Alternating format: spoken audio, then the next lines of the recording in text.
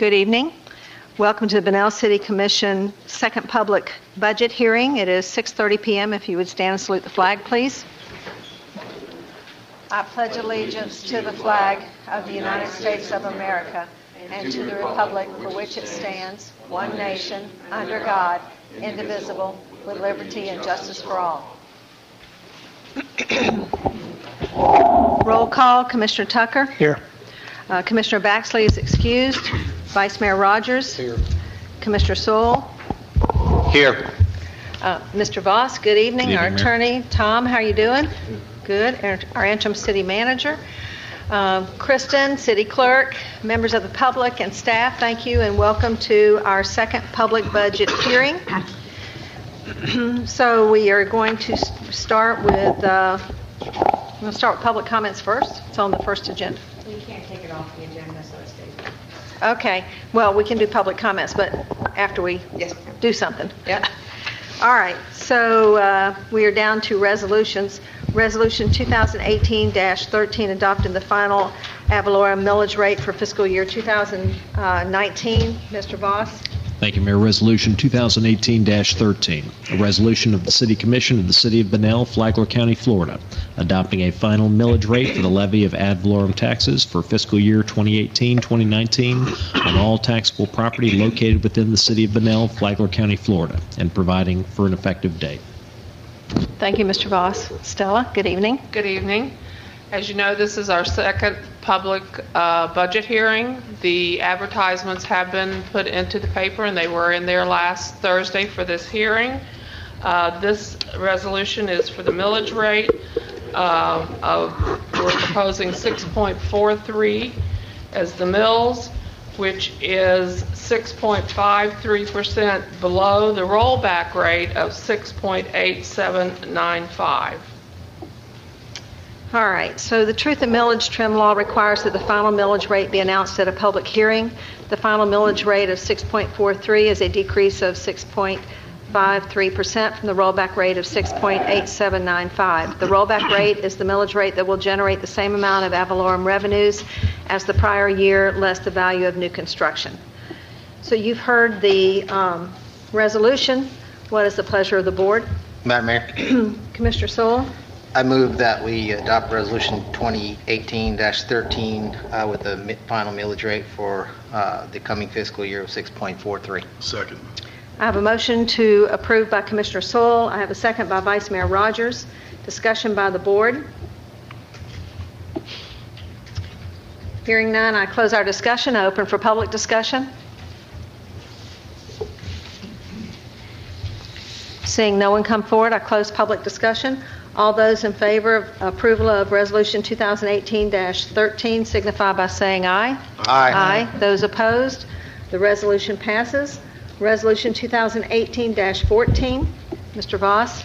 Thank you, Mayor. Resolution 2018-14, a resolution of the City of Bunnell, Flagler County, Florida, adopting a final annual operating budget for the fiscal year beginning October 1st, 2018, and ending September 30th, 2019, setting forth anticipated sources of revenue in the estimated amount of $7,790,913, setting forth expenditures in an equivalent amount, and providing for an effective date.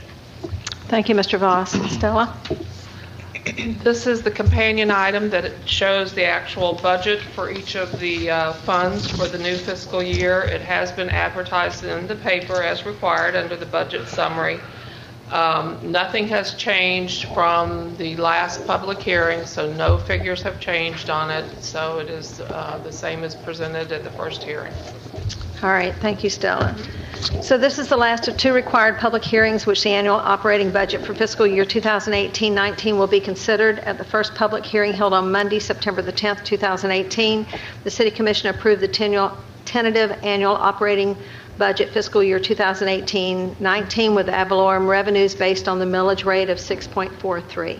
So what is the pleasure of the board regarding Resolution 2018-14? Madam Mayor.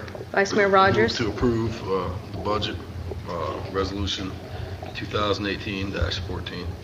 I have a motion to approve by Vice Mayor Rogers. Do I have a second? Second. A second by Commissioner Tucker. Discussion by the board. Hearing none, I close our discussion, open for public discussion.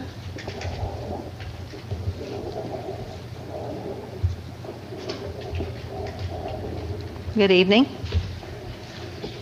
Good evening, Mark Mangello. Um, It may not be appropriate at this point, because I want to address something that would be coming up, I guess, in your regular meeting, but it does affect this. I did want to talk about, um, uh, I guess it'd be under the solid waste fees, about um, the imposition of an increase. I had talked to uh, a few of the staff, I had talked to Commissioner Sewell earlier today, and uh, I did want to bring up the amount of that and how that was being approached, and if, you know, if there's another way to look at it. So while that, I guess that item is in your next part of it, I don't know if you, we should talk about it now or wait for that, because by passing this, then you'd have to do a budget amendment, I guess, to fix that if you change that. Noted. Okay, so should I wait till that item? Well, I'm going to call Stella up to address that because I don't know, to be honest with you. Okay. So Stella's my, my money gal, so she can tell us. Uh, When you sent the email earlier today, Mayor, the city attorney was in my office, and at that time, we discussed uh, the situation that if the revenue in the solid waste fund needed to change and the corresponding expenses, the, e- it's up to you, but the easy, you could amend this, but the easiest solution would be to pass this as it is, and then tell me to amend it at the next meeting, based on whatever you decide later on about the rates. Okay. Um, Did you hear that? I don't know where he went. There he is. Okay. Any other public comment? Seeing no one- other one come forward, I close public comment. Reopened any board comment? Hearing none, I call for the vote. All those in favor of Resolution 2018-14 signify by saying aye. Aye. Those opposed? The resolution passes. Uh, Having no further business in this uh, second public budget hearing, I call for an adjournment. All those uh, So moved by Vice Mayor Rogers. Do I have a second? Second. Second by Commissioner Tucker. All those in favor say aye. Aye. Aye. All those opposed? This meeting is adjourned. We'll give it five minutes, and I guess the next meeting we just roll into? Yes, ma'am. Okay. Advertise that way. All right. Do y'all need five minutes? No. The Lions played last night, you know. What's that? The Lions played last night. I know, but the Bucks are playing tonight. Oh, okay. My husband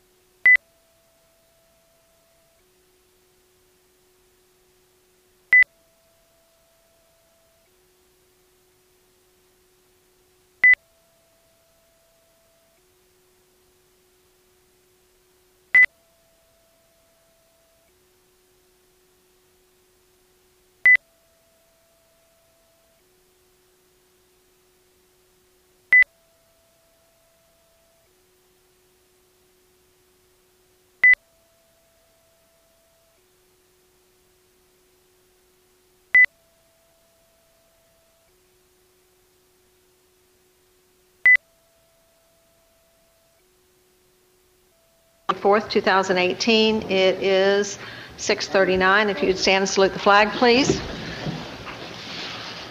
I pledge allegiance to the flag of the United States of America and to the republic for which it stands, one nation, under God, indivisible, with liberty and justice for all. Roll call, Commissioner Tucker. Here. Vice Mayor Rogers. Here. Commissioner Sewell. Here. Good evening, Mr. Voss, our Good attorney. Uh, Tom is our interim city manager, Christian city clerk, members of staff and public, thank you and welcome to our meeting. We always like to start our meeting with a word of prayer. We want to remember those first responders and uh, members of the service that will be preparing to go all over the world to fight and defend what we are doing here tonight. Um, We do not take our freedoms lightly. We know that there's a cost for that. We pray for the families that are left behind, and we pray for those who are in training, those who are in active uh, duty fighting, those who will be coming home, those who will come home impaired, and those who will not come home.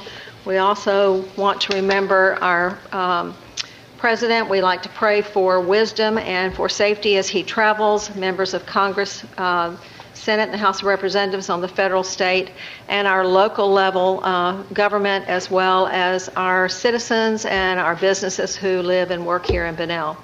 So if you will join me, please. Our precious Heavenly Father, we thank you, Lord, for this day and for the beauty of the day that you give us each and every day, Lord. We thank you for all the blessings that you bestow upon this country and upon our community. We thank you, Lord, for everything that we take for granted, Lord, that you would be, be with us and, and recognize that sometimes we don't see what you do for us. I pray, Lord, for the first responders that um, put their lives on the line day in and day out the firemen, the policemen, um, the other first responders that are out in the community, continuing to make the community safe. I pray for our police and police officers. I pray also, Lord, for our soldiers as they travel all over the world to defend the freedoms that we have in this country. I pray, Lord, for them um, that you would keep them safe. Pre- I pray a hedge of protection around them. Also, I pray for their families, Lord, that you would just be with them and protect and guide them until their loved ones come home. I pray for our president, Lord, for uh, wisdom and for safety as he travels and for all levels of government, Lord. I pray for our city, for the citizens that are here, and for our businesses that work here, Lord, that you would just be with them and bless them. I ask all this in your precious name. Amen. All right. So we have um, a proclamation tonight. Uh, Constitution Week 2018. Is there someone here to get that uh, proclamation? Would- Did we expect someone to come? Maybe we should wait since we started a little... Not for the Constitution remember, it's an after-the-fact one. Okay. Because they got it to us late. All right. All right. Constitution Week was September the 17th through the 23rd, 2018, whereas the Constitution of the United States of America, the guardian of our liberties, embodies the principles of limited government and a republic dedicated to rule by law, and whereas September the 17th, 2018 marks the 231st anniversary of the framing of the Constitution of the United States of America by the Constitutional Convention, and whereas it is fitting and proper to accord official recognition to this magnificent document and its memorable anniversary, and to the patriotic celebrations which will commemorate it, and whereas Public Law 915 guarantees the issue of a proclamation each year by the President of the United States of America designating September the 17th through the 23rd as Constitution Week. Now therefore, I, Catherine D. Robinson, by virtue of the authority vested in me as the mayor of the city of Bunnell, Florida, do hereby proclaim the week of September 17th through 23rd as Constitution Week and ask that our citizens to reaffirm the ideals of the framers of the Constitution had in 1787 by vigilantly protecting these freedoms guaranteed to us through this guardian of our liberties, adopted this 24th day of September 2018. And I would ask Commissioner Tucker if you would like to say a word about this. Well, Surprise? It is right up his alley, and this is a, an issue that is near and dear to him, so I give him that honor. well, it is. There, there's no greater document that uh, outlines freedom for as many people as what we have. It should be a, a beacon to other countries to follow our Constitution. Although some in our land even, uh, you know, try to change the Constitution or, or go bypass it, but I am thankful that I live in this country with a Constitution that helps us all. Thank you. Thank you for that, Commissioner Tucker. We have another proclamation of Rail Safety Week. and We have someone here. Sir, would you like to come forward and come to the podium and tell us who you are and where you're from? My name is Jim Gainey. I work for the Department of Transportation. Chief Foster invited me tonight because we are, yesterday we started Rail Safety Week nationally, oh. not just within the state. And the, the theme, if you will, for this year is Operation Clear Track. We're trying to keep pedestrians or photographers off of the tracks. As you know, FEC comes rolling through here at about 60 miles an hour. Mm-hmm. And it takes over a mile to stop a freight train going 55 miles an hour. A lot Wow. of people think they can stop because they're sitting on the tracks, and they can't. Um, But we've asked law enforcement from all over the state, uh, in my nine counties, we asked law enforcement for support, for enforcement, um, and just to, if they catch anybody out there, either write them a ticket or at least talk to them. I brought some pamphlets for pedestrians and for drivers, because lots of times, as you know, they stop on the tracks. I've never understood that line of thinking, um, but they do it. And um, I just appreciate Chief Foster's support and the city. All right, well, thank you. I'm going to read your proclamation. Rail Safety Week, September 23rd through 29th, 2018, whereas the state of Florida is a leader in supporting highway rail grade crossing and pedestrian safety programs, and whereas highway grade crossing crashes during 2017 resulted in 21 persons killed and another 51 injured in the state of Florida.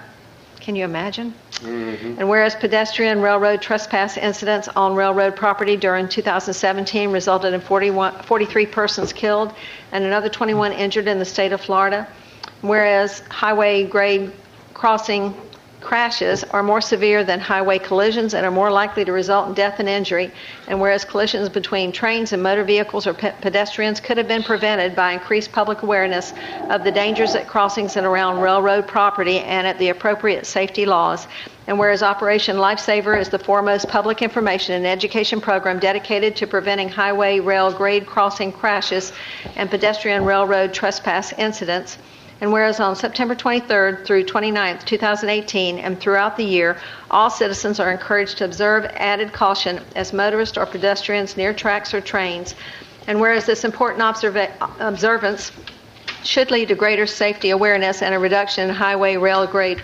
crossing crashes and pedestrian railroad incidents. Now therefore, I, Catherine D. Robinson, by the virtue of the authority vested in me as the mayor of the city of Bunnell, Florida, do hereby proclaim the week of September 23rd through the 29th, 2018 as Rail Safety Week in the city of Bunnell and encourage all citizens to participate in activities to reduce rail crossing crashes and pedestrian railroad trespass incidents during this week and throughout the year, adopted this 24th day of September 2018. I can't imagine how a car versus a train would have a good outcome. That just blows my mind. The weight ratio is 4,000 to 1, same as a, as a vehicle to a soda can. The average freight train weighs 12 million pounds. Which why, that's one reason it takes so long for them to stop. Thank you very much. Appreciate your support. All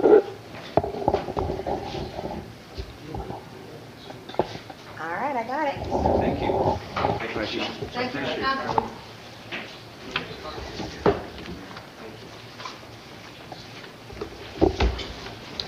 Mayor, Yes. um, the police department, we're going to be participating on September 25th uh, for a three-hour period. We'll man uh, three different crossings in the city, State Road 11 and Railroad, Dean and Railroad, and Elm Street, or Elm Avenue and uh, Railroad.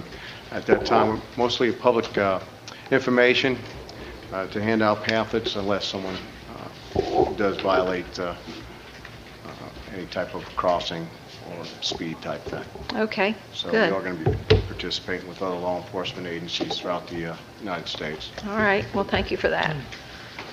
All right. We are now at the consent agenda.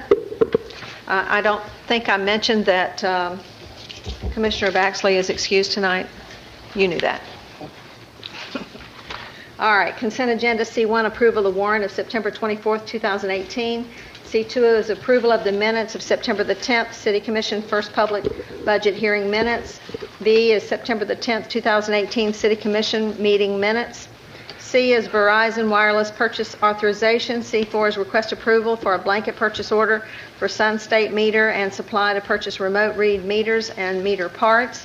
C5, request to approve operating supply and equipment purchases from USA Blue Book for the fiscal year 2018-19.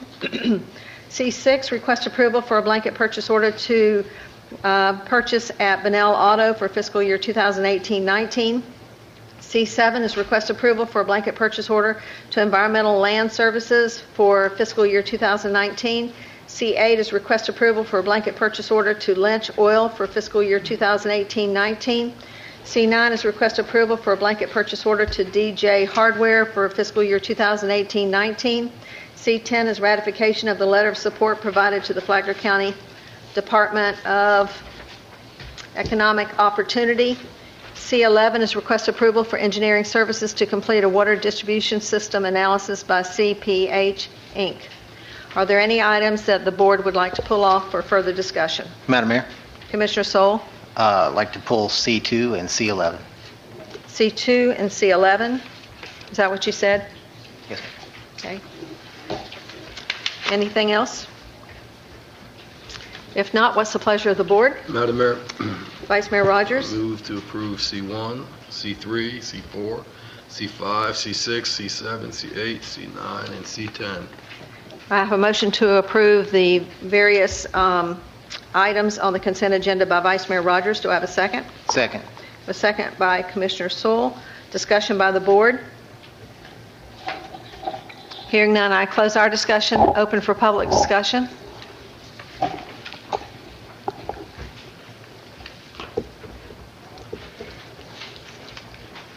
Good evening. Good evening. My name is Justin White. I live at 1010 Wadsworth Way in uh, Bunnell here. And I noticed that you did pull uh, item C11, and it's a request for engineering services. uh, Okay, and we're, we're not there yet. Oh, We're not there yet. okay. It's sorry. okay, it's okay. Someone else? All right. Hearing no one else come forward, I close public comment. Any board comment? Hearing none, I call for the vote. All those in favor of the motion to approve consent agenda 1, uh, C1, C3, 4, 5, 6, 7, 8, 9, and 10 signify by saying aye. Aye. Aye. Those opposed? Motion carries. C2, approval of the minutes. Um, Commissioner Sewell, you wanted to pull that? Uh, Madam Mayor, I'd just like to uh, comment that um, due to the fact that the, the minutes that in words that are published are, uh, are highly summarized, uh, I would like to see in future minutes that we place a note on the minutes to refer uh, anyone interested to listen to the audio on the website, because a lot of people are not aware of the audio on the website.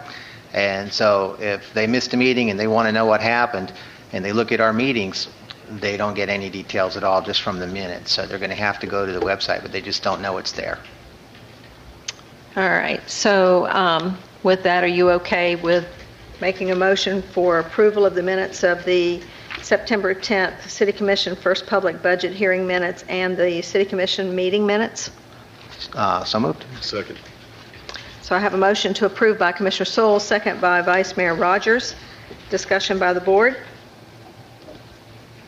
Hearing none, I close our discussion, open for public discussion. Seeing no one come forward, I close public discussion. All those in favor of the motion to approve C2 signify by saying aye. Aye. Aye. Those opposed, the motion carries. C11, Commissioner Sewell. Uh, Madam Mayor, I just wanted to be sure that Mr. White had the opportunity to speak. Well, he's going to get an opportunity to I know. speak. I know.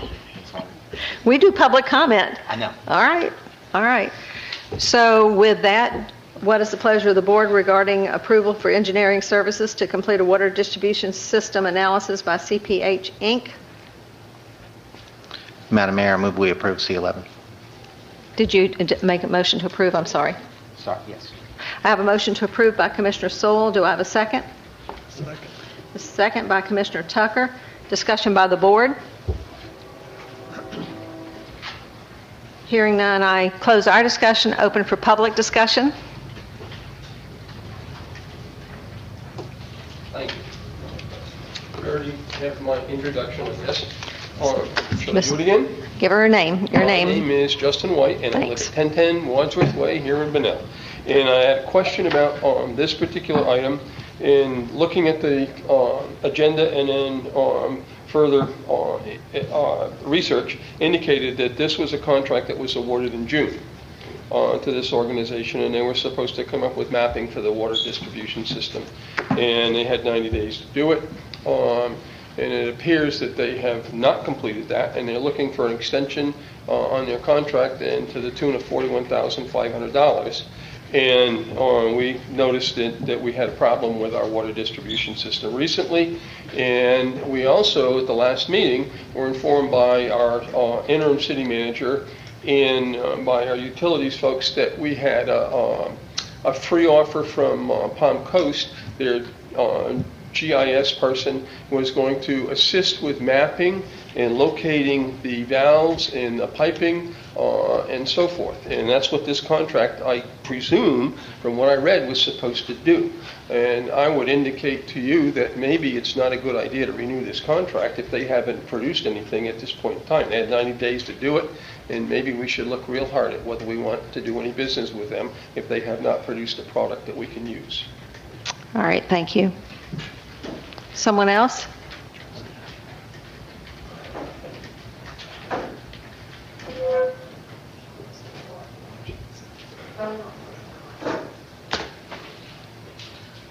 Good evening.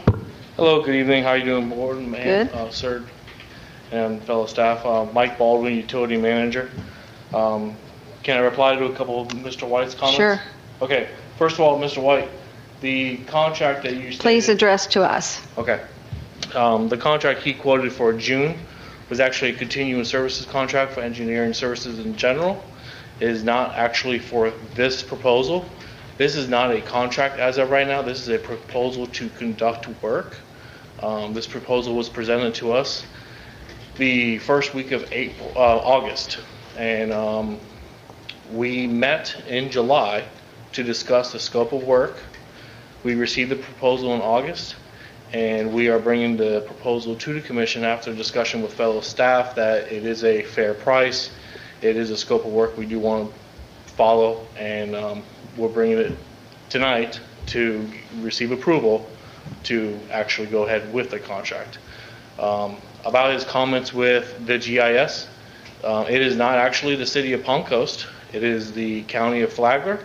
I have been discussions with Darlene, who is the GIS technician at Flagler, and she is going to assist us with locating some of our infrastructure with um, our smartphones that we have already established, and she will help us with putting them into a shape file. Um, this shape file will be able to insert into a ArcGIS, which CPH is going to be creating for the city of Bunnell. So, um, speaking, I actually have a representative from CPH here, and they will be, um, as we present more material and data to them that they don't have to go and get themselves, they will be discounting or removing that amount of scope off this proposal. This is a proposal for them to do everything. Um, as we can help them make their job easier, they're obviously going to adjust the proposal down. This is a general scope going off of a scope of work from July. Um, we've obviously have done some improvements since July, and we've had a problem since July, so it's kind of put a little new, you know, ignition on the fire for that one. Um, along with GISing, uh, CPH is going to help us with modeling the system for expansion, for improvements, for pressure. Um, it's going to help us when we have new development come into the area and they ask us, can you service us water? They're going to give us the ability to answer that confidently so that it can help us with the development. Um, I don't want to steal all of Brett's thunder, so if Brett did want to come up and, and say anything, he, he's welcome to it. But, um, yeah, Come just to- forward, sir. just to address a couple of Mr. White's question or comments, this is not an extension of a contract. This is a initiating a contract to go into and to their scope of work is to provide us this information in 90 days from the day a PO is issued, which it has not been issued yet. Um, It is Flagler County we're working with, and I believe that's it for, So my question is, in the proposal, does it state that if we're doing additional work, that the price will be decreased accordingly? And state your name, sir, for the record.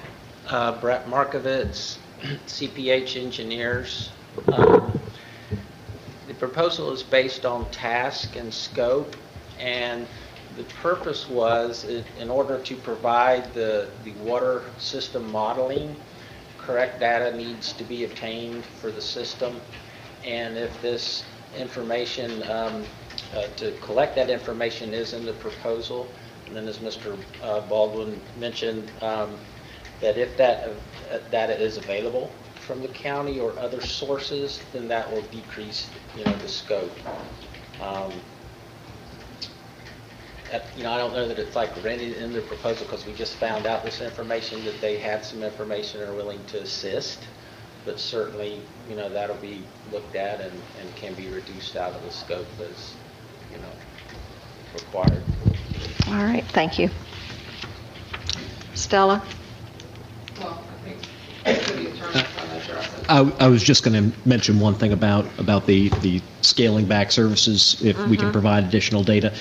The, the um, contract is structured as a not-to-exceed amount based on hourly rate work. Hourly Okay. rate. So we're at, we're at, uh, am I right? I mean, that's what I'm reading here.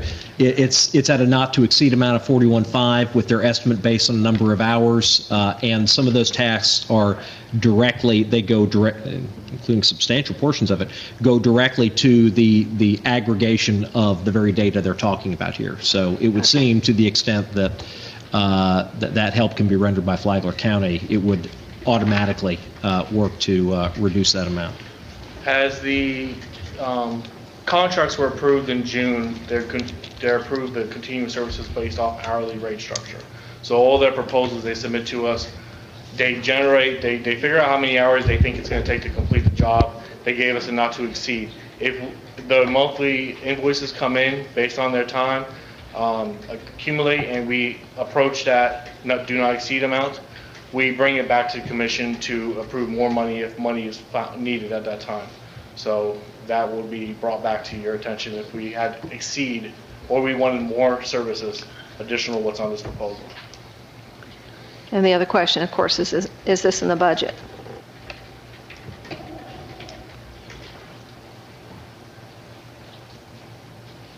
Yes, you'll notice that it says contingent upon approval of next year's budget, which you just did earlier.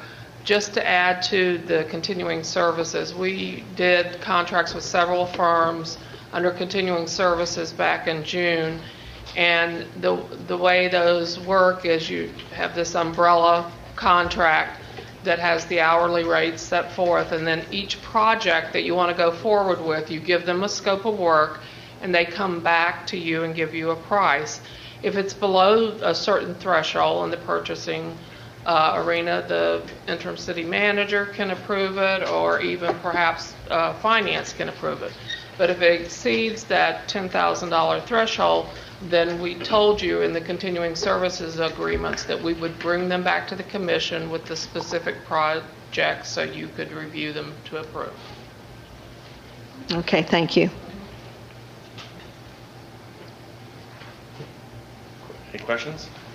And Yes, Does the ma'am. board, uh, Vice Mayor Rogers? So they're going to be able to locate the different shut-off valves and stuff like that? They're gonna assist us as much as we, they can. Um, Locating valves is not, is built on experience, so they will work with us like, they're gonna take all of our maps we have, and they're gonna digitize them, and they're gonna layer them. And they're gonna put them into one map, um, or one database. Uh, and then we will work with them, going out there and identifying, hey, this valve exists, this valve doesn't. And then that way we create a updated map of the entire city. Okay. And this is not coming out of the general fund, it's coming out of This is all enterprise, sir. enterprise? Okay. I have no And other actually, questions. um, I may mention, I'm not sure, I didn't confirm with Stella.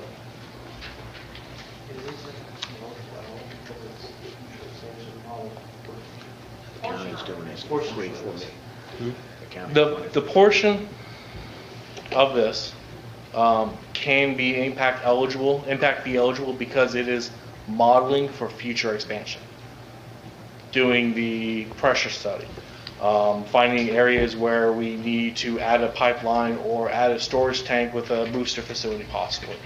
Um, Once we have everything digitalized and everything computed into one map, the engineering firm will run the numbers, the formulas, whatever they need to do to help us figure out where our flaws are, if there are flaws, besides just isolation and location of valves. Did you get all your questions answered? I got them. Yes, ma'am. Thank you. Madam Mayor? Commissioner Sewell? I do have a couple of questions. Uh, One, obviously CPH isn't the only firm that can do this kind of work. So why should we uh, do this without bidding it out? Shoot, I have a much better answer for you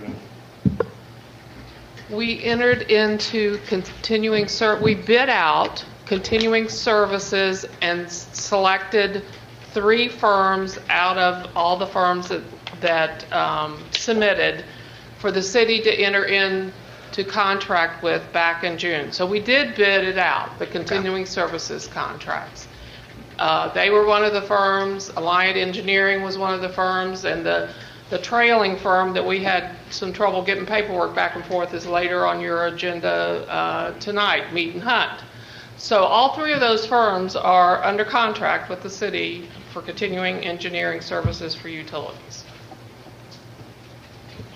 I'll just, if you don't mind, I'll add to that. We actually have four firms. We have CPH Inc., and they're local to Palm Coast. Mead and Hunt is out of Port Orange, Daytona Beach. Um, We have Alliant Engineering, who's already helped us with a couple grants and projects that have completed successfully there out of Jacksonville. And um, Kimley and Horn is a fourth engineer that we've signed up with. Um, All those engineers, along with others, have submitted uh, qualifications to us when we selected our engineers. And as a group, as a uh, committee, we took each of those engineers and we found their strong points. And instead of having one engineer work on the entire city and always having that engineer and only that engineer's vision, we picked engineers that have visions for specific things. Like if it, they're very good in treatment plants, we are going to use them in our treatment facilities. If they have good strengths and distribution water, we're going to use them in the water aspect of the field. Um, so it gives us a bank of experience to pick from and where they specialize in to help us in the future. My second question is, um, and it has to go a lot, uh, not to insult anyone, okay? But are we asking the right questions? Because, um, you know, I'm aware that you don't possess all the qualifications that would necessarily uh, lead us to um, the, to ask the right questions. And if we're not asking the right questions, we're not going to get the right answers. So uh, I would like an answer to that as well. Your name for the record? Fred Griffith, your city engineer. I've been working with this type of thing for about 28 years, give or take. Um, We have a qualified consultant that submitted a fair proposal. I was honestly uh, surprised at how reasonable they were. Um, And I just want to point out to you right now that, right now, you don't know where all your pipes are, you don't know where all your valves are, um, you don't know what your pressures are, um, and developers are knocking on the door and they're building into our city. And honestly, I just don't know what to tell them, because I don't know what we got. So this is a big step. I've been, I've been uh, talking to our city manager before, our prior city manager, when I got here, that this is very important to have. And I'm really glad that you're on the verge of getting this done, because it's critically important. You can't design what you need if you don't know what you got to begin with. And right now, I don't know what you have. So, um, and like I said, this is a, this is a fair price. Um, we're not, we're not, they're not submitting competitive bids. You're just hiring professionals. You know, when, when you go to a doctor, you don't go get, go get four prices, okay, and pick the cheapest doctor. Um, we've got a qualified firm. They give us a fair price to get this work done, and I'm real excited that you're on the verge of authorizing this because it's absolutely necessary. And I want to add one thing before I go sit down, is valves are interesting. You, I just need to understand something. You've got a water system that's 50 years old, maybe older, okay? Once you locate the valves, you honestly don't know if they work or not. Okay, even if they go up and down a little bit, okay, they're going up and down. But you don't know if they're going to close, okay? And once you close them, you don't know if they're going to open again, okay? So, um, we're going to have future challenges. I'm just a city engineer, I just want to you know, we're going to have future challenges in this old water system. We're going to work on it. This consulting firm is going to help us evaluate what we have, and we're going to be able to develop a plan on how we got to make it better, so we got a reliable water system. Okay, it's very important. Thank you. Thank you, Fred. Madam Mayor.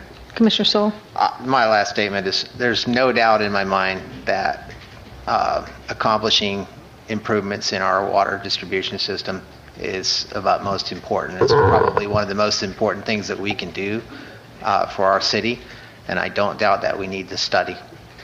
I just want to know that we're asking the right questions so that we get the right answers.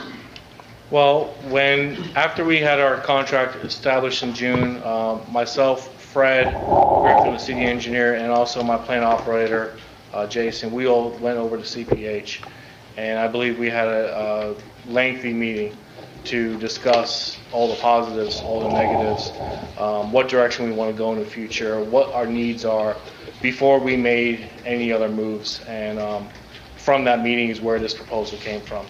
Um, I, I want to say our meeting went past two, went past two, three hours almost. And um, I- there was a lot of questions asked, uh, a lot of discussion. Um, They've already collected a lot of data and maps from us, and they are off, they're ready to start. Um, If any other questions come up, they've been very good to communicate with. So eh, along the ways, we may have a new question, or um, like our hydrant i- issue we had a few weeks ago, that's going to bring up new questions like, hey, okay, now we need to look at maybe more isolation valves um, into this plan.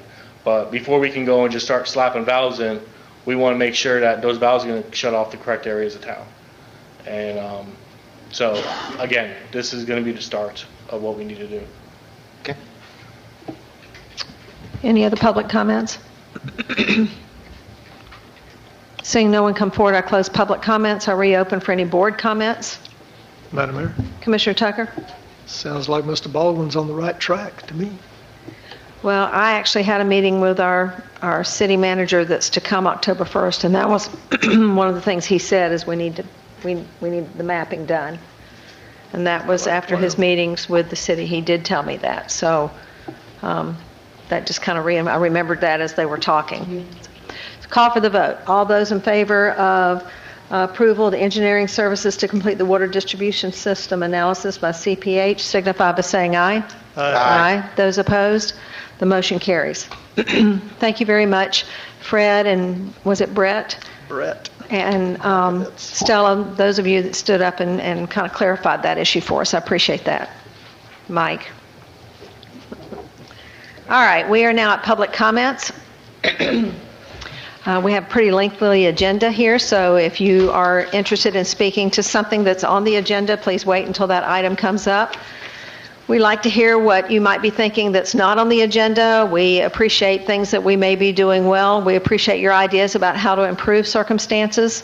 Um, When you come up, state your name and your address. We try to limit to four minutes. And we run a civil meeting, and we appreciate your cooperation with that. So with that, I open up to public comments.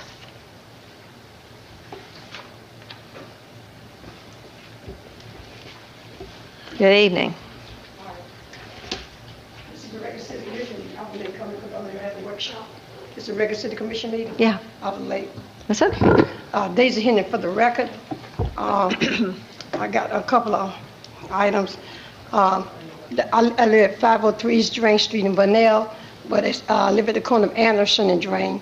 And one house down, there's a, uh, some garbage where somebody, uh, they clean out the house. And it's been there for a couple of weeks. And I was wondering when the pickup going to be. Um, The tenant was there, the, uh, they evicted him, uh, whoever was there, but the, the, out- the interior is, is outside, and it's been there for a couple of weeks. Okay, uh, that's about the, uh, that trash cleanup. We're dedicating Lewis uh, Jackson park on Wednesday, and I was, uh, with the beautiful park and everything, uh, what about the cleanup? We need to look at the cleanup across the street. It's an eyesore. Uh, the lady, got- the tenants got bicycles and everything there, you know. We, we trying to beautify. And so that's the Mary Alexander Apartments on the side where the mailboxes is. So maybe we need to get out our code enforcement guy there to see about that, clean up some of that on that side. Uh, uh, this weekend, uh, my family rented the community center. It's very beautiful on the inside. It's very what? The community center, my family rented to- the community center for my birthday for my great grandkids. Uh, it's painted beautiful on the inside, but the furniture, you need to update your furniture. The tables was raggedy, uh, and the table the tables don't cost but thirty nine dollars. Uh, the, the table, you need new tables. You didn't have enough chairs, uh, but everything else was, was nice. Uh, one more thing, I uh, I called uh, Christian and I asked about because I was trying to talk to a, a, girl that Mr. Lewis Jackson had raised, and I called Christian and asked her what were the dates about. Uh, she said, and the way her tone and attitude, um, she, she's got a very nasty attitude, and maybe she needs some training. But I had a chance to uh, to run into Commissioner Blacksley in his absence, and, I, and, and talk, and I was telling him about it. He said, well, maybe I thought it was just me. So if he, she talked to the commissioners like that and the customers, it's, uh, it's some training need to be done there, even though she's doing a good job, but she, uh, she's out to serve the public. And I think her attitude need to be checked on with the way she speak, her tone of voice uh, to people, because if, you know, if, when you uh, uh, pick up the phone and talk harsh to people about different things, everybody, even though I, I know how to go on the internet, but I was trying to make sure that I got the information so I could call the, the, the girl that's supposed to be here on Wednesday. And her tone of voice was real harsh to me. And so if she treat me, and, and Mr. Becker said she, he talk, she talking to him the same way sometimes. So uh, maybe she need to check her attitude. Thank you very much. Are you going to be there Wednesday morning? Ma'am? Are you going to be at the ceremony Wednesday morning? Would you speak a few words on the history of Mr. Jackson? I'll do what I can. Okay, thank you. Someone else?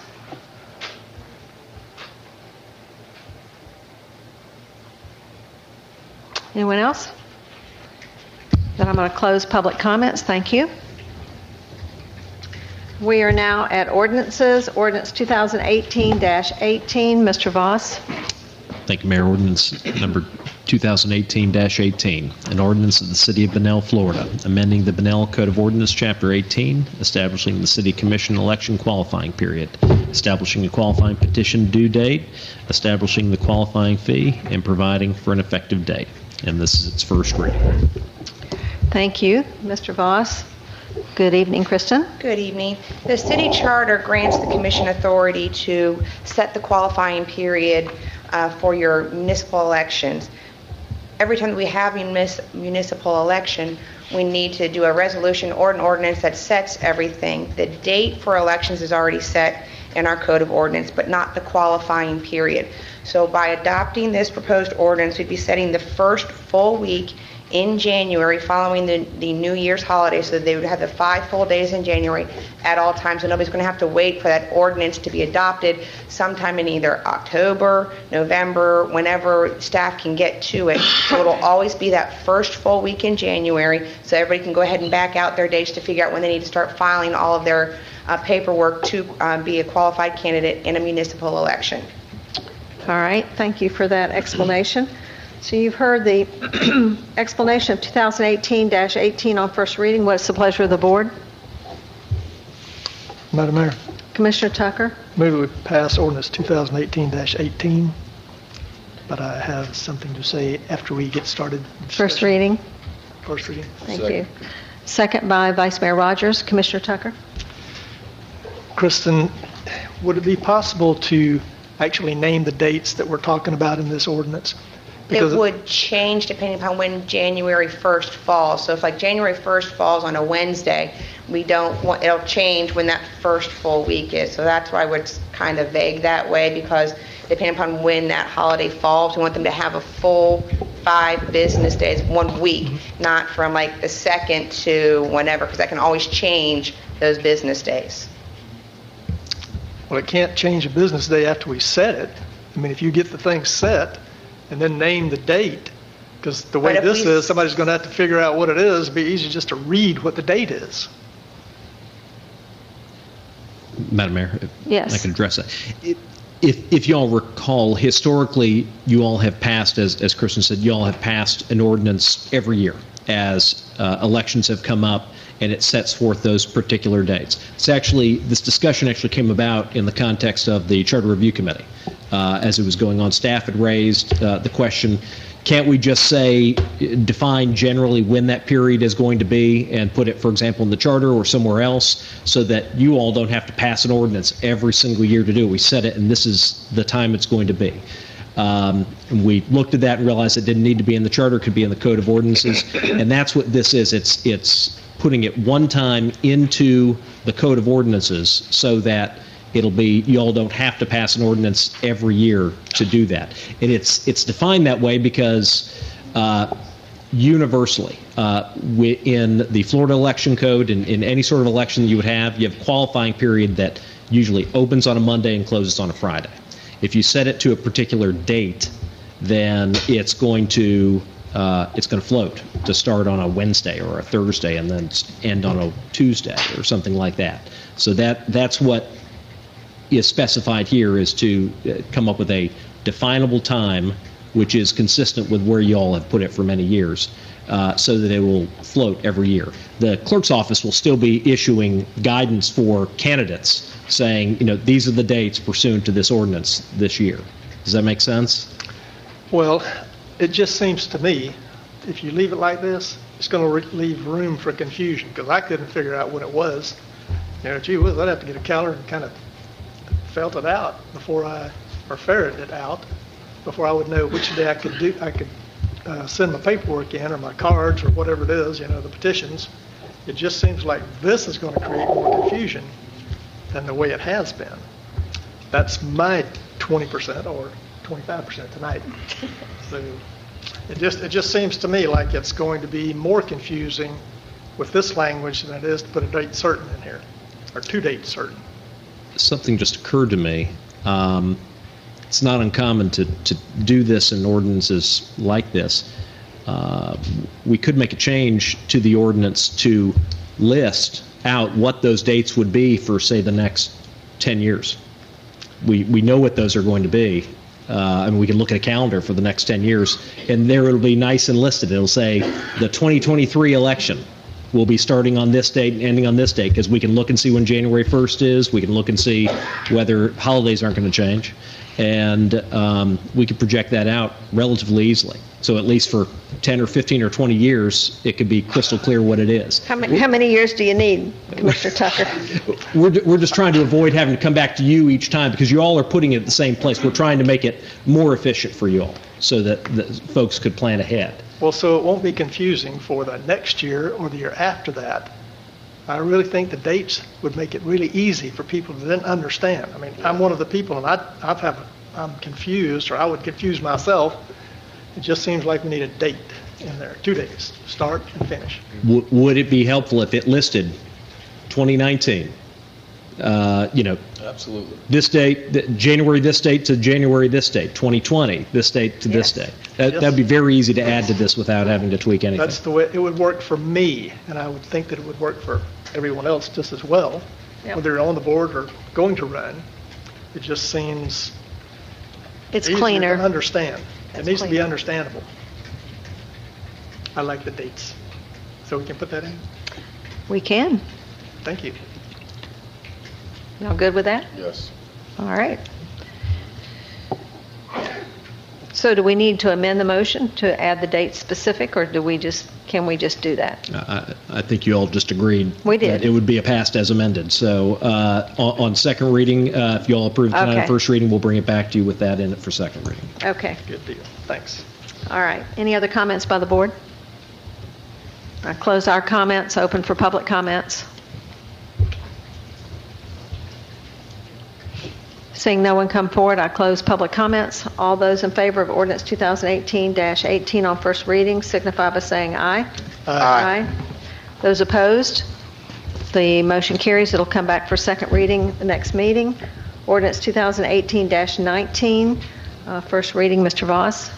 Thank you, Mayor. Ordinance 2018-19, an ordinance of the City of Bunnell, Florida, amending the Bunnell Code of Ordinances, Chapter 50, Solid Waste, updating regulations for facility operating permits, providing for vehicle transfer and franchise hauler regulations, updating roll-off and hook truck regulations, providing for exceptions, providing for conflicting provisions, severability and applicability, and providing an effective date. And this is its first reading.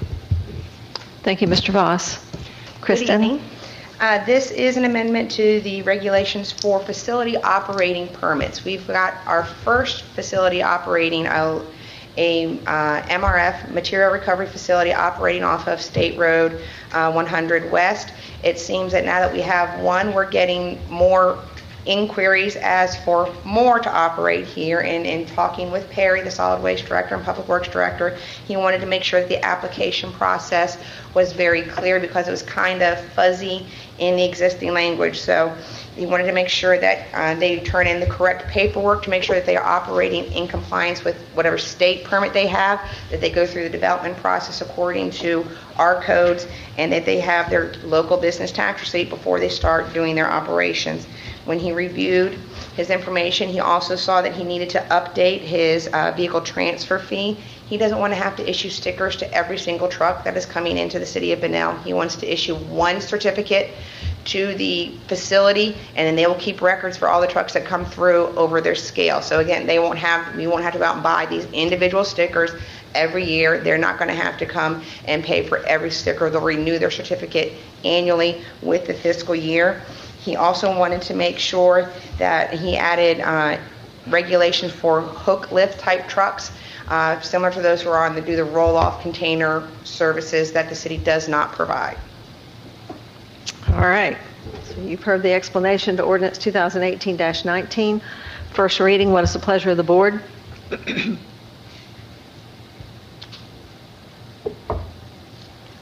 Madam Mayor, I'll make a motion just for discussion. I'll move to approve. I have a motion to approve by Commissioner Sewell. Do I have a second? Second. Second by Commissioner Tucker. Discussion by the board. Madam Mayor? Commissioner Sewell? Um, What concerns me about this is the fact that when it comes to external stuff where we're going to charge a franchise fee, I don't have any, uh, I don't have any uh, information on uh, who those players are, how much it is, how much revenue it brings to the city, what impact it has on uh, businesses within the city that are using them. Uh, So I think that uh, it's incomplete. There's not enough information here for us to, uh, to make a, a good decision. The resolution that would charge those franchise fees Uh-huh.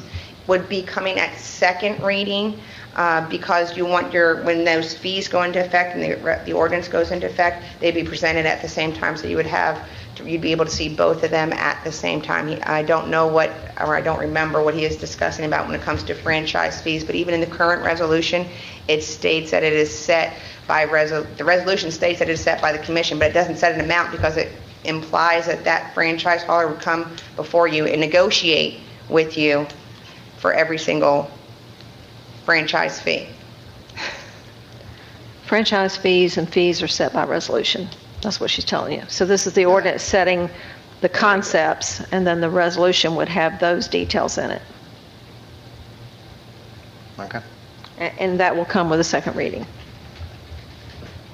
Okay. Any other comments by the board? Did that answer your question? No? All right, I'm going to close our comments open for public comments.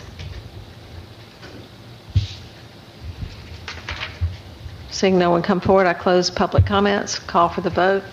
All those in favor of ordinance 2018-19 on first reading signify by saying aye. Aye. Aye. Those opposed? Ordinance passes on first reading. We'll be back for second reading. All right, here is our resolutions. Uh, F1 is Resolution 2018-12, amending the solid waste rates. Mr. Voss? Thank you, Mayor. Resolution 2018-12, resolution of the City Commission of Bunnell, Florida, amending Resolution 2017-26 regarding solid waste rates, providing for severability conflicts, and providing for an effective date. Thank you, Mr. Voss.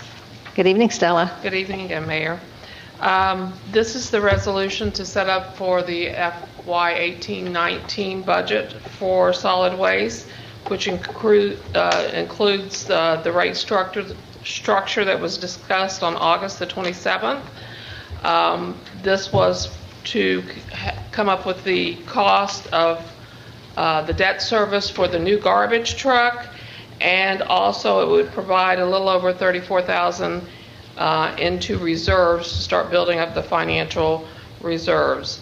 Uh, This resolution uh, shows a seven, or proposes a 17% increase to the commercial rate structure with no increase to the residential structure.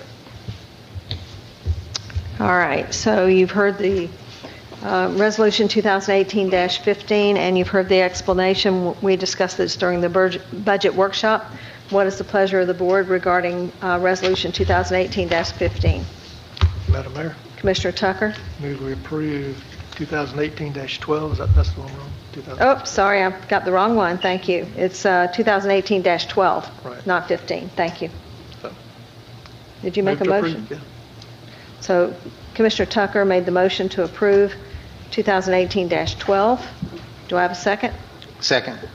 Second by Commissioner Sewell. Discussion by the board. Madam Mayor. Vice Mayor Rogers? This is where we're um, raising the rates for the commercial end. And not the residential? Correct. Okay. This is what we uh, had voted on, the 17%. Seventeen percent. Mhm. Three to two vote. Right, Right. Okay. yes. Any other comments by the board?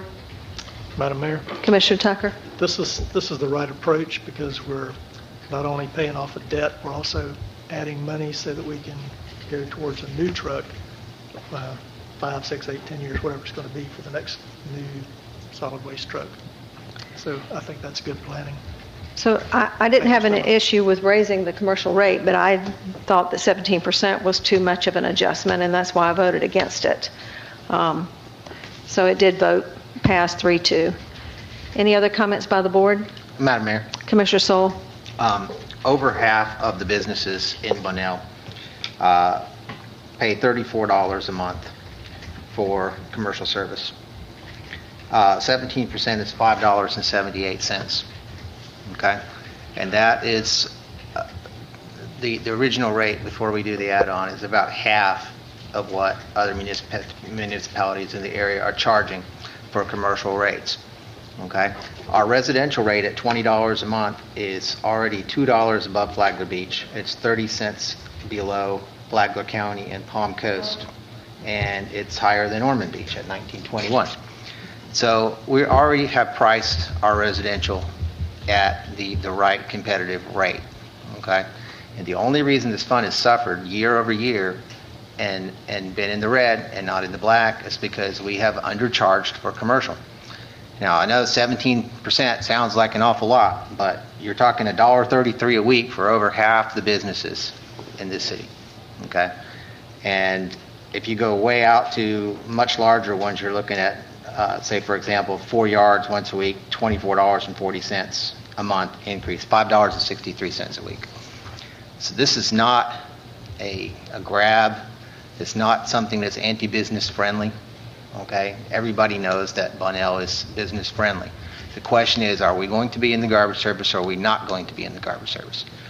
And I deferred to your comments uh, before, and I respect your opinion that when we contracted out for solid waste, that we had an inferior service. And I believe that we have a superior service as it is right now, but we have to maintain that equipment and we have to maintain the service. And had we, over the last several years, incrementally increased the amount, we would be in better shape than we are today. So this is going to put us in the black finally for the fund. And when we get our annual audit, They'll say, hey, you finally fixed the solid waste fund. And that's what we need to do. Thank you. Anyone else? All right, I'm going to close our comments, open for public comments.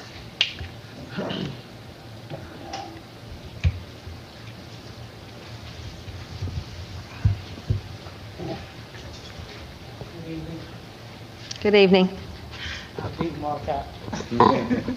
Um, In regards to our solid waste, I had a question about, is there anything in the budget for when people move out? You know what I'm saying? I've made a call about a large garbage pile of furniture, and I was told that no one had um, an account for that residence for a while. So what happens to that furniture? Do it kind of like dissolve into the ground, or is there a process to, do we have anything set aside in the budget to pay for the extra dump? All right, thank you. May I address that, Mayor? Uh, If you want to do it, I was going to wait till the end of public comments, but you can, Oh, well, she, um, Mia. I've been made aware of that uh, on Friday. Uh, That garbage will be picked up. It was going to be picked up today. Uh, There's actually two locations uh, in the city that we have that uh, garbage. We are going to pick it up. Unfortunately, our uh, solid waste employee uh, uh, went home sick today, so it'll be picked up Wednesday, and uh, there'll be some assessments uh, to the property owner. Okay, that's fine, thank you, because I did notice there was a realtor sign in the yard now, so I wasn't sure what was Okay. going on with that. It is being addressed, ma'am. Thank you. You're welcome. thank you. Good evening. Good evening again. Mark Langello. Uh, This is what I wanted to talk about. I'm putting my hat on as a uh, executive member of the Chamber of Commerce. I'm not coming uh, here as an owner of Atlantis um, because I personally don't have an issue with the fees and the rates. Um, The Chamber got this information after the budget hearing, and we got it from several business owners in Bunnell. They come back up and said, hey, man, they're, they're raising the business rates, and they're not doing anything on the residential. They seem to be just, you know, hitting the, the, uh, the businesses because we don't vote. This was, this was a comment that came back from the, the, at least three people that I can think of that went to me, and other people were talking. Um, So my, I had talked to uh, Commissioner Sewell earlier about this. and, um, My, my issue isn't the rate increase. Um, It it is the rate increase, but it's not that, you you know, this is going to kill everybody and this is terrible. It's the process that we're going through to do this. And uh, I did not know what the facts were. So not knowing what the facts were, and neither did the other business people, did not know what the facts were. All we knew was that this, re- this rate was coming at us and nowhere else. Um, I am 100% behind the new truck. I'm 100% behind the, the uh, solid waste um, department. As you know, you know, we had uh, um, substandard service before when we had subbed it out. Uh, Once Perry came in and took this service over, you know, there's been praise for this department. And um, as John said to me, I agree, you have a service, you want to pay for it. You gotta, you you know, I- I'm, I'm for that. As you, as many of you know from years going past, I'm the last guy to come in here and tell you to lower my taxes. I'm more apt to tell you to raise my taxes, because I believe you got to pay your bills. Um, That's me personally. What the business people, and they don't mind paying bills that they have to pay for, it's when it came at it this way. So, um, in the past, when you had the, the, um, the water fees that were crushing, and, and this was maybe 10 years ago now, um, the, the funds all went to zero, we were operating in a negative all of a sudden.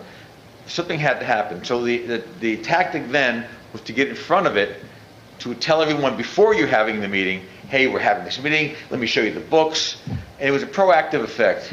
And we had very little pushback. There were some residential, I went to some of the meetings, and again, I stood up at the meeting and I said, go ahead and raise my water rates, I get it, you know. Um, But this one had no, no attempt to do that. So uh, my first comment about the tactic would be, you can't go back in time, you can't fix what was already done. Maybe a lesson learned, maybe next time something like this happens, you just proactively bring people in, rather than say, hey, it's on the agenda, you should know about it, because people aren't paying attention to every meeting, that every municipality, you know, we're all affected by local city, the county, the water management district, you know, the, the, the, the uh, state, the federal government, and on and on and on. We can't follow every agenda and every item. That's why we elect people to have you do it, okay? Perhaps at this point, you could still put the information, some of the information that, that John was telling me, back into your, your water bill and say, hey, this is why we did this. Because while you may discuss it in this meeting, it's not getting out there. So as a member of the chamber, and that's, again, that's why I'm here tonight, um, the perception was not good. And the best way that the city has known this for a while is to keep encouraging businesses. That's going to be a positive cash flow. Every time a business opens up, not only are you getting ad valorem taxes, you're getting sales taxes and use taxes, and they, they only use traditionally 80, 85% of a dollar that they give you. So you have an extra, you know, extra revenue. Every residence that comes in, they spend about a dollar fifteen, a dollar twenty for every dollar you come in. So it's always good to encourage the business side of it because you end up generating more money. Sometimes you chase too many residents and you end up generating a, a, bi- a bigger bill than uh, a smaller bill. But I'm not saying don't don't chase residents either. Not where I'm at. Um, the reason why I asked about the rate, though, was if it didn't have to be 17%, let's not have it 17%. If it could be stretched out over a year or so, it may make it look better that we're going to do this. It isn't, and again, I agree with the, the philosophy that that amount of money may not be a lot. Some people it may be, some people not. It's just a perception. So my thought was to open this back up to say, does it have to be that amount? Do you have to do it all right now? If you do, please do a, from the city, a PR campaign to explain what you're doing. You know, don't, don't make me have to go out and try to, only the people that talk to me generate, hey, let me tell you what they were doing. You know, let me get book work and show you what's going on. Just to do the PR stuff so the city does not get the perception that we don't care about businesses. Because I don't think most people that know you guys think that. Um, you know, for the most part, most people assume that you guys are on there having, you want them to come here. But this type of thing, it's funny because, you know, you can do 10 things right, you do one thing wrong, and it starts to run away from you. And this was my problem. I heard this and I said, let me get to the bottom of it. I looked into this thing. I said, look, we need to get the garbage truck. 100% behind that. You can't, I own heavy equipment.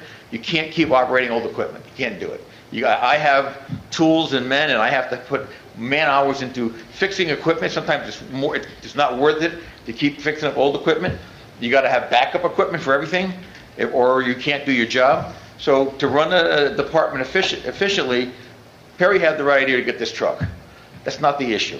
The issue was, how are you going to do this rate increase? Does it all have to be done now? And if you have to do it now, I'm encouraging the city to do some kind of a PR to go back to your constituents that are paying this bill and say, hey, this is why we did this. Because without that, in the vacuum, the words are coming back very negative to the city. Thank you. Thank you. Someone else?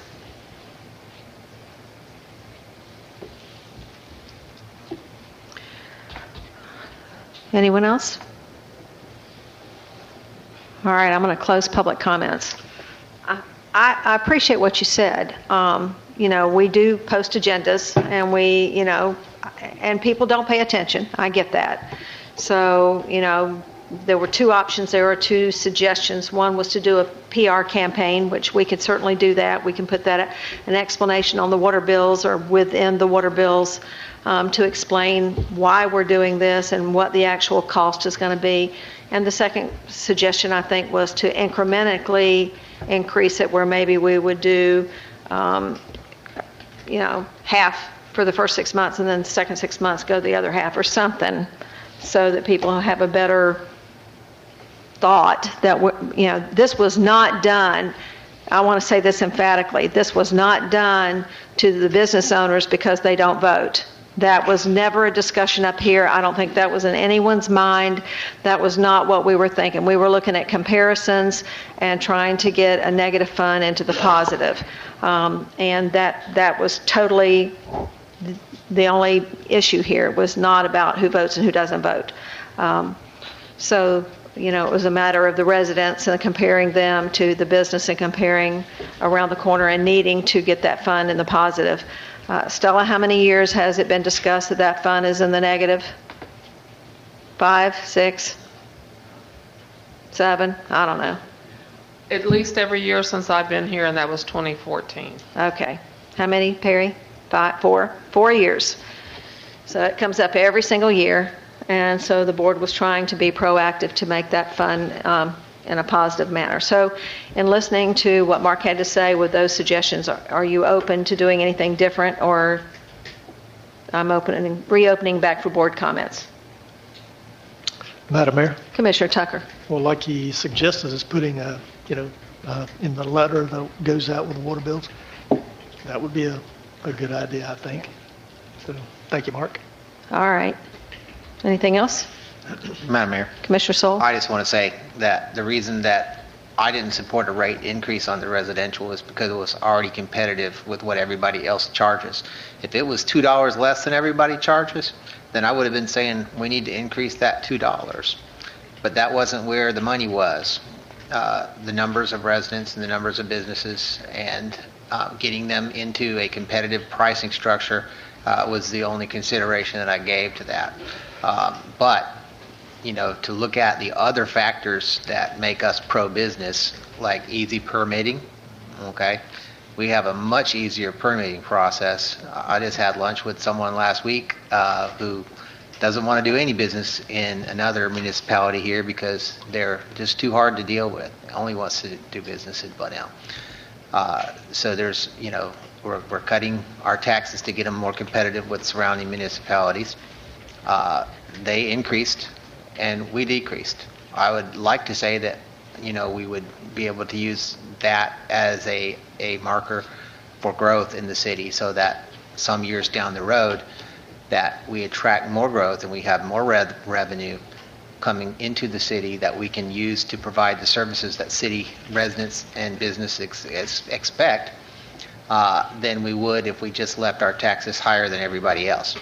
Because if we do that, we're always going to be stagnant. Uh, Case in point, 2016, there was one new home built in the entire city of Bunnell.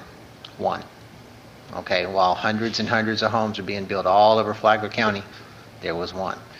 And the biggest reason I believe for that is not that people don't want to live in Bunnell, it's that they don't want to pay that big of a tax difference between us and uh, where they could otherwise locate. So, uh, you know, we are pro-business, and I don't think anybody that's done business in the city of Bunnell or is familiar with the city of Bunnell would ever think that we're not. So I definitely think we need to do a, a PR campaign in the, in the water bills or in the monthly newsletter. I don't know how the monthly newsletter is distributed. The Citizens newsletter is quarterly, it is not monthly. It's the city manager report that you guys get on the second meeting of every month. That is the monthly one, but the Citizens newsletter is quarterly, and I don't know when the water bills go out next. Well, and we're at the end of the third quarter now, so it would be October that that um, Citizens would go out, right? It just went out. Uh, It goes out, it'll go out again for, uh, it'll go out again in November. Oh.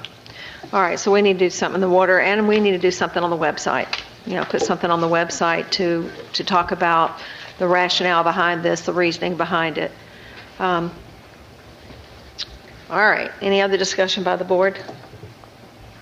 I call for the vote. All those in favor of the motion to approve Resolution 2018-15, um, is that, nope, it's Resolution 2018-12.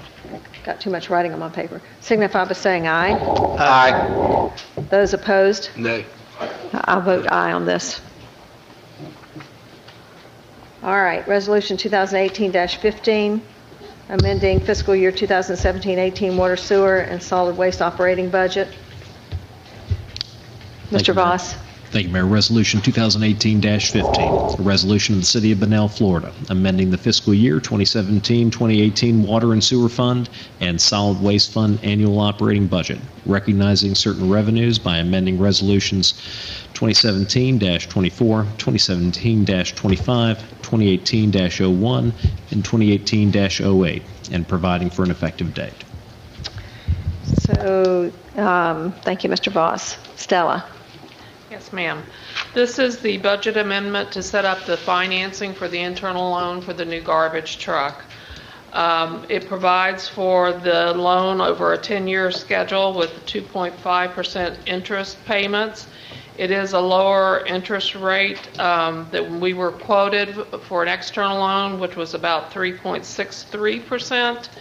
And our current interest earnings right now in the water sewer fund is 2.11%. So this internal loan will gain um, more earnings for the water sewer fund. So it is simply the water sewer fund loaning the funds to um, the solid waste fund for the purchase of the truck. All right, thank you, Stella. So you've heard uh, Resolution 2018-15. Um, What is the pleasure of the board? Madam Mayor, Commissioner Tucker? we approve 2018-15. I have a motion to approve by Commissioner Tucker. Do I have a second? Second. Second by Commissioner Sewell. Discussion by the board. Hearing none, I close our discussion. Open for public discussion.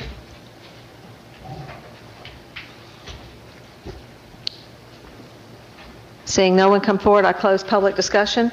All those in favor of approving Resolution 2018-15 signify by saying aye. Aye. Aye. Those opposed? Nay. The motion carries uh, three to one. Old business, request approval for sale of fire truck. Ma'am, I'm going to have Perry explain a little bit, but uh, this was, this came up back in February, uh, where the commission uh, approved uh, surplus in this truck. So we do have someone interested that wants to pay a pretty fair price, and I'll let you, uh, Perry explain the historical data on it. Yeah, I'm not sure if you, uh, uh, Perry Matrano, Public Works Solid Waste Director, I'm not sure if you remember the entire conversation, but um, it was an option to either go out to put it in auction or to use a company called Fire Tech, which is uh, a company that features the sale of mostly fire apparatus and emergency equipment to the private sector, uh, or, in this case, many other municipalities and volunteer fire departments. Um, It's it's taken quite a while, and we started a price fairly high and uh, probably have come down to exactly where the sweet spot is on what the truck's value might be in comparisons to others. Uh, We have a a- a volunteer fire group up there in um, Beach Creek Township, um, that is up in uh, Indianapolis somewhere. Uh, They're very nice folks. Uh, They are looking for that type of vehicle. Um, It's the vehicle that they need because they have a younger volunteer group, and that vehicle is is uh, good for rural areas where the tree canopy is low, and it is the right truck for their fit. They have made an offer, and as you can see, we brought it to you to be sure that's what you would like to do. You've already surplus the truck, but it was important to let you know uh, this was the offer, so. The offer is $35,000. All right, thank you, Perry's. What's the pleasure of the board? Madam Mayor, Vice Mayor Rogers? I make a motion that we approve uh, the sale of the fire truck. I have a motion to approve by Vice Mayor Rogers. Do I have a second? Second. Second by Commissioner Sewell. Discussion by the board. Hearing none, I close our discussion. Open for public discussion. Seeing no one come forward, I close public discussion. All those in favor of the motion signify by saying aye. Aye. Those opposed, the motion carries. Thank you. Thanks. All right, reclaim water meters. Hi, Stella. Uh, Back in June, we had a discussion about uh, reclaim rates and um, trying to come up with a scenario for uh, amending the reclaim rates. During that discussion, the commi- Commissioner Sewell asked that we look into, uh, oh, and the rates were based off of um, not charging um, charging the meter over the life of the meter as part of the base rate instead of doing a one-time meter charge when the reclaim meter was installed. Um, There was a rate structure that was provided by Mr. Cruz from Southeast Rural Community Assistance Program. And um, uh, Commissioner Sewell asked that we go back and look at it um, because it was a minimal amount. Could, could we not straight pipe the reclaim? So um, I asked you know, for time to go back to Mr. Cruz and find out his feelings about that. And the, the biggest issue um, that he came up with, and I would also invite Mike up in a, a minute to give his, his uh, input, uh, is accountability. Evidently, we have to report um, to DEP and maybe other agencies um, the reclaim that is used and what happens with the reclaimed water and where it is used. So uh, again, we did talk about at the meeting, and Commissioner Sewell brought this up, um, about uh, promoting wasteful mis- misuse by not having a, a, a meter. Um, so we're asking for you to um, revisit this and perhaps give us some guidance in which kind of direction you want to go. The rate um, recommendation is on the report. Um, It was a monthly base rate of 927 for 6,000 gallons, and then a tiered rate depending on how many uh, thousand gallons were used. All right, thank you, Stella.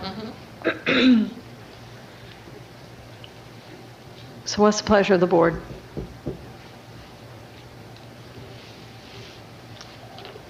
Madam Mayor, do we uh, move to get the meters and decide how, what, what, uh, what the level is going to be for, you know, the first so many gallons and then the second rate, the tiered rate, we're going to, is that what we're going to do? We're going to move to approve this first and then set the rate, what we think it ought to be? That's a question for you. Primarily, this was a discussion item for us to get direction on where we want to go with the rates. We have a rate structure in place right now, but we wanted to update it um, as we got opportunities. We, if you'll recall, we updated the ordinance such that it requires new construction where, where reclaim is available to connect. Um, and we wanted to have a rate structure in place to be able to implement that ordinance. So the current rate structure really didn't include the meter and metering uh, for um, the reclaim. So all we need is to approve this ordinance to, or it's not an ordinance. Well, if you It's just agree a with re- this study, you you would give me direction to come back with the right resolution that followed the study. What Stella just said. I was going to jump in and say, yeah, th- this would be direction to staff to, So we so have some discussion about it. We don't need a motion, we need some discussion. right, and, and then direction to staff, you know, or going a different direction, you know, notwithstanding the additional uh, stuff that you go in additional direction to straight pipe it or, or whatever y'all want to do. Well, straight piping is going to be uh, a penalty to us because it won't be able, you won't be able to meter what's going out.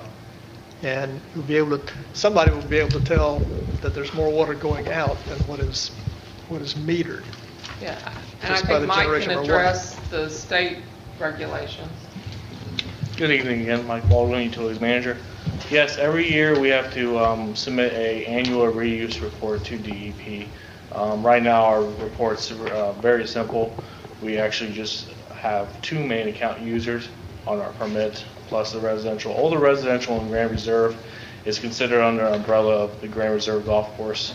Um, As we inherit, I would say, or take over the infrastructure of the residential section of Reclaim, we will no longer be able to avoid the cost to maintain that system. Currently, the CDD maintains the reclaim pipes in Grand Reserve Residential. Um, so when there's a, wa- there's a reclaimed water break, CDD has Yellowstone Nursery repair it. As soon as that is giving to us, we will be uh, um, taking over those costs. Um, so we're going to have to use some of this revenue to keep up with that system. There's pumps involved, and these pumps at Grand Reserve will be providing pressure citywide almost as the reclaim system develops. Um, Pretty much, we've done two studies now where the first one included the cost of meter plus the usage. We've got it down to where now pretty much is a flat monthly rate. Nobody's gonna have to buy a meter. The, the utility department will install the meter, and we will monitor the meter, and we also will own that meter and the tap. Um, The customers will just have to have their irrigation connected to it. Um, Ricky Cruz has put a lot of time into the studies, and he's come in a very reasonable rate for all residential to tie in. So this is going to be um, nice for when we get into the core of the city. This will be something we can apply when, once we get reclaimed more out there. Um, Currently, we produce enough quality reclaimed water that we don't have enough users for it. So we end up having to discharge to the surface water. Um, Nearly 30 to 40 percent of our water is put into the creek, which is providing high nutrients into surface water discharges. The only way we can stop that is to start finding more reclaimed users. And um, this is all part of that plan. This is all part of getting nutrients out of surface waters, which causes things like algae blooms, high nitrogen, gets us out of consent order for our wastewater plant, gives us a little bit of revenue to maintain the parts that we're going to adopt from the CDD. And um, pretty much, we've been stalling on this. We brought it to the board a couple times. We've asked for direction. It's been kind of brought back, presented again. We're just kind of seeking, if we have any more changes, give us direction right now so we can make that last change, so that we can adopt the resolution that we can move forward with to start our reclaim infrastructure for not just our commercial, but for our residential. All right. Heard the uh, explanation, discussion. Commissioner Sewell? Madam Mayor. Mike, will you stay there? Yes, sir. How many excess gallons in the millions do we have on an annual basis right now, reclaimed water? Is it 46 million? We, last time I checked the numbers, we are on track right now to produce 140 million gallons of water this year. Of that 140 million gallons, the golf course has only taken 80 million gallons. So that produces 60 million gallons of excess water that we've had to send to surface water discharges.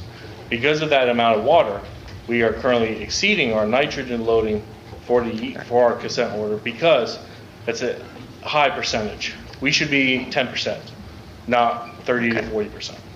That's what I want to use to make my point. When you charge someone on a per thousand gallon basis, for example, okay, when you meter it and you charge them based upon consumption, you're going to cause conservation, okay? That might be great in the future, but right now, we have to get rid of it, okay? Yes. So, by, what, I- you know, I, I question, like, I look at the canal behind my house. I got a ditch behind my house. Jerry has a ditch behind his house. It's empty.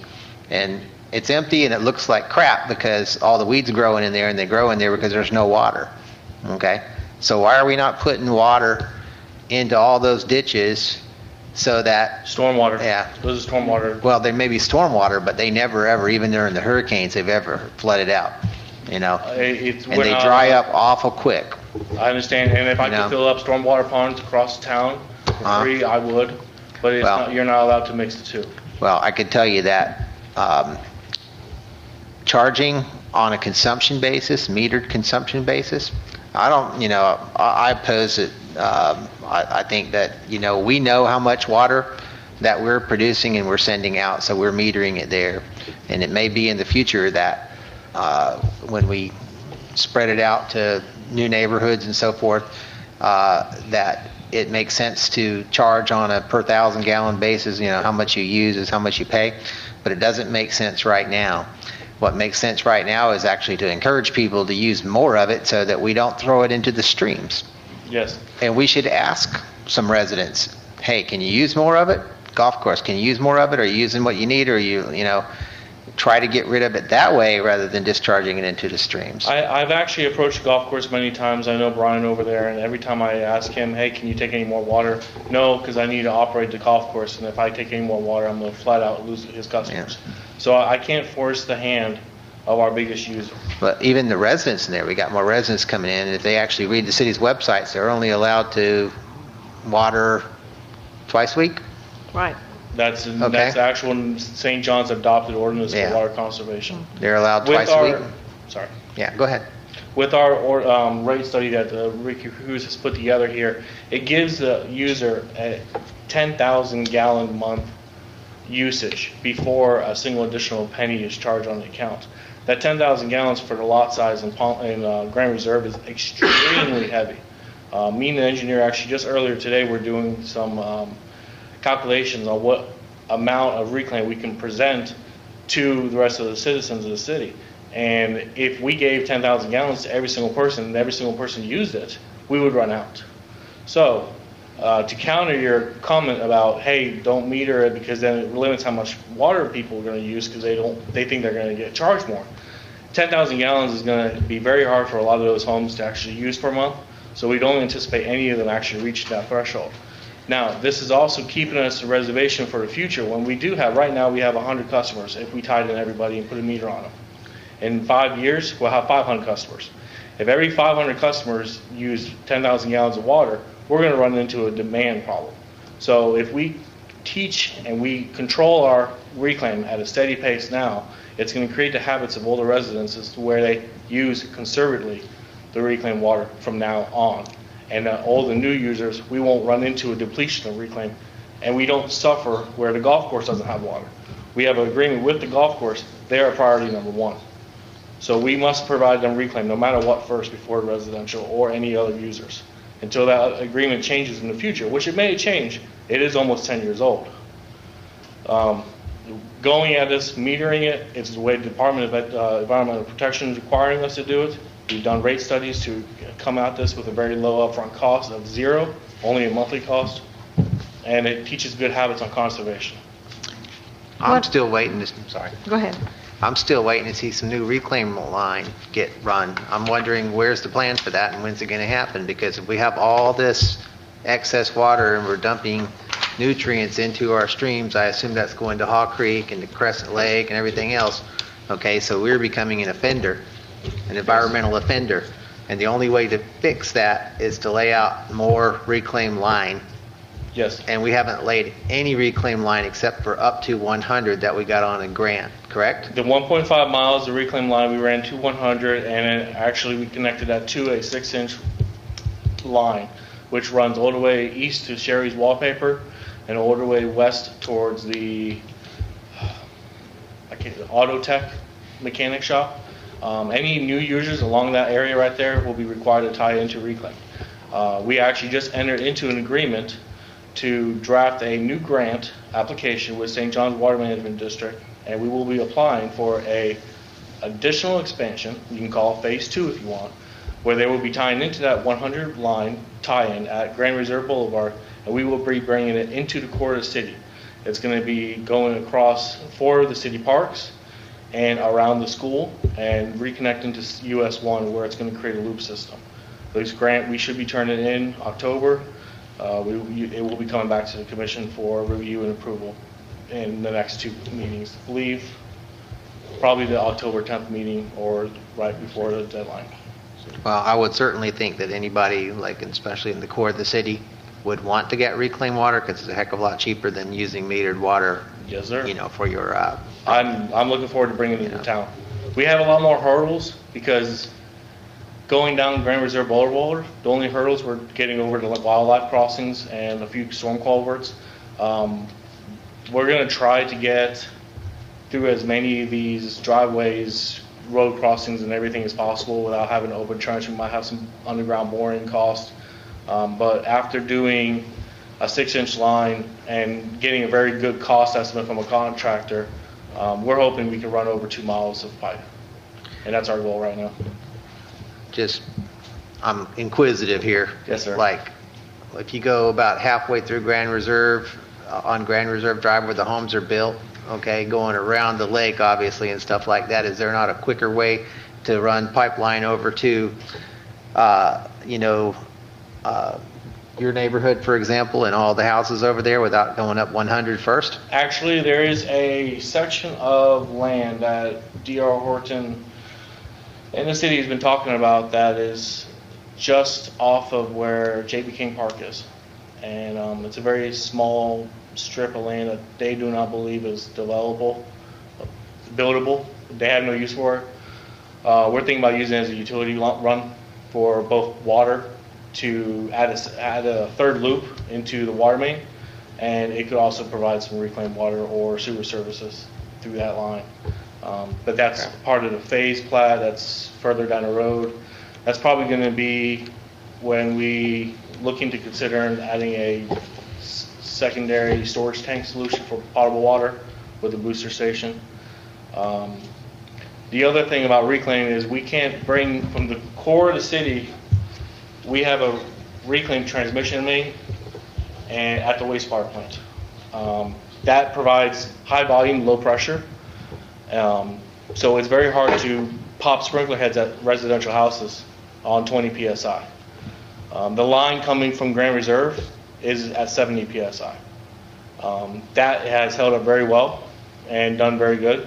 So we can continue that line. It's going to be a better option right now. I can tell you, it cost me thousands of dollars when it went down and my lawn died several years ago. That, I will give you Yellowstone's phone number, and they were in control of that pump station at the time. That pump station is actually being rebuilt. Both pumps are, have been pulled and being serviced, rebuilt, and done before we take ownership. Okay. The CDD has stepped up and offered to do that for us. So when they do give us the equipment, it's as best as possible. What about the landscaping company? I thought we ran reuse out to them on US 1. They do, they're still, they do take our water still. There's a storage basin back there behind all, um, Vertigo, and they are still one of our users. Okay. Um, they don't use a lot of water, but if any, but it's mostly a storage basin. All right. So we've had all these questions and answers. What do we want to do as far as giving some direction? Did I hear you say that DEP required metering? Did you use the word required? They require an annual report. Yeah, they require an annual report that accounts for its use. So if there were no metering, the only thing that could be report, reported is it went out. And then we, there, there'd be no further level of accountability. Uh, and that was, that was the primary concern that was raised by the personnel from uh, Southeast Rural Water. Okay. Comments? I think if we, Madam Mayor, Commissioner Sewell? I think if we must meter it, then we still charge a flat rate, although we meter it for reporting purposes until such time as we uh, don't have such a large surplus of water. Because I guarantee you, yeah, you're giving them 10, but somebody's going to say, I can't use it, and they're going to use 1,000 gallons of water instead of 6 or 8,000 gallons of water. And then we're throwing more nutrients into the, the watershed. So I, I think until we get that extra line laid and increase the, uh, the capacity to, uh, the distribution capacity, then we should not be charging people by the thousand gallons of water, or we're going to create more surplus water. Any other comments by the board? I'm going to close our discussion. I'm going to open for public discussion.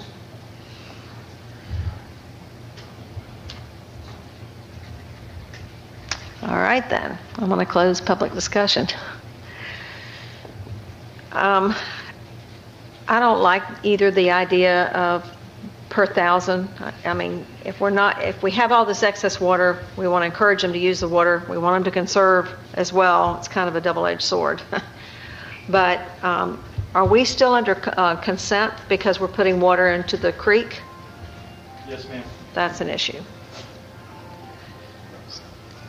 So can you come back with some options regarding the cost per, the, what was it? It was $9.27, was that right? Versus uh, just a straight flat.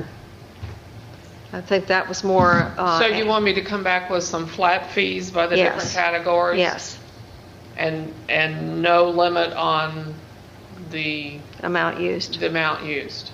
Are, are you okay with that? Are you okay with that, Commissioner Sewell, Vice Mayor Rogers? Are you okay with that? I suppose, we just have to see what it is, you know. Well, I agree, but I'm just trying to get territory I've never something. I'm trying to get something on paper so we can look at it.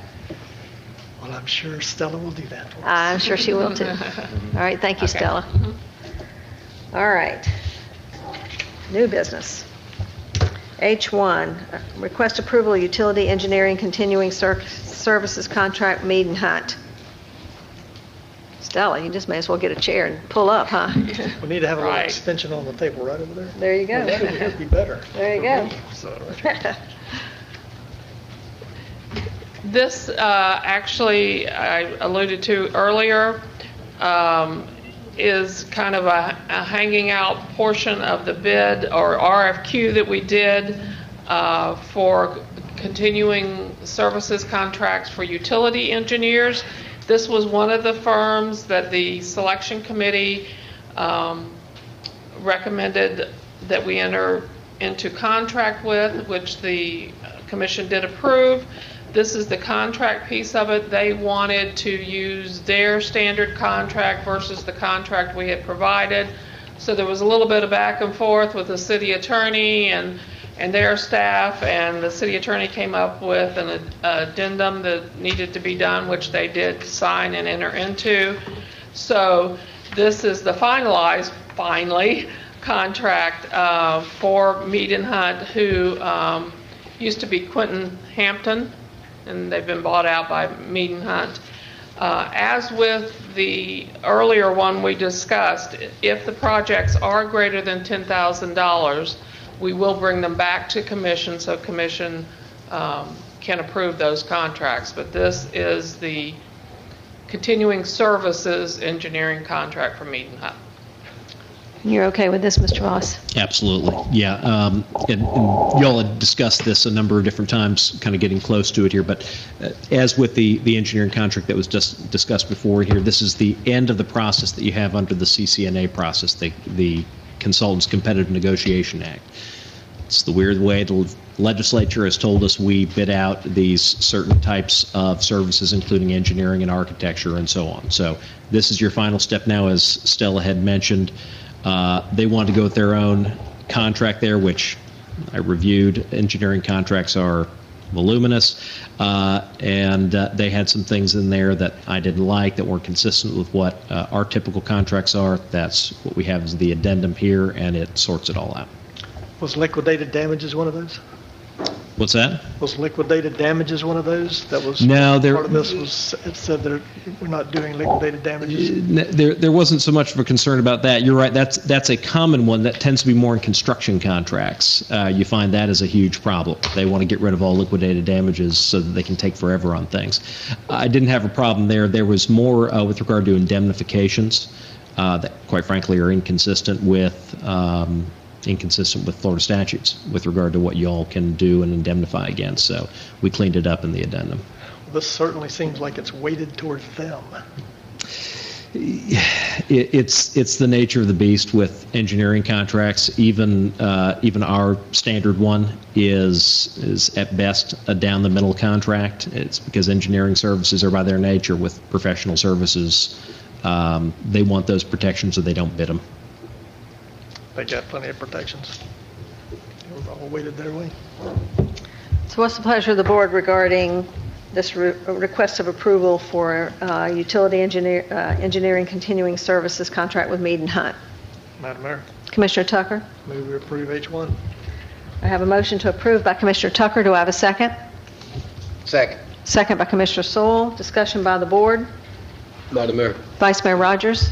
Commissioner Tucker, you're 100% right. I read through this, and even, you know, they're not liable in any contract, tort or otherwise, for any special, indirect, consensual, liquidated damages, including uh, specifically, but without limitation, loss of use, loss of profit, loss of revenue.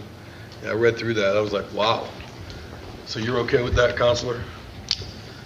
Generally, I am, but if you all are not, and and just so you know, just so you know, how the CCNA process works is, like we said, we you go and you get everybody's qualifications, right?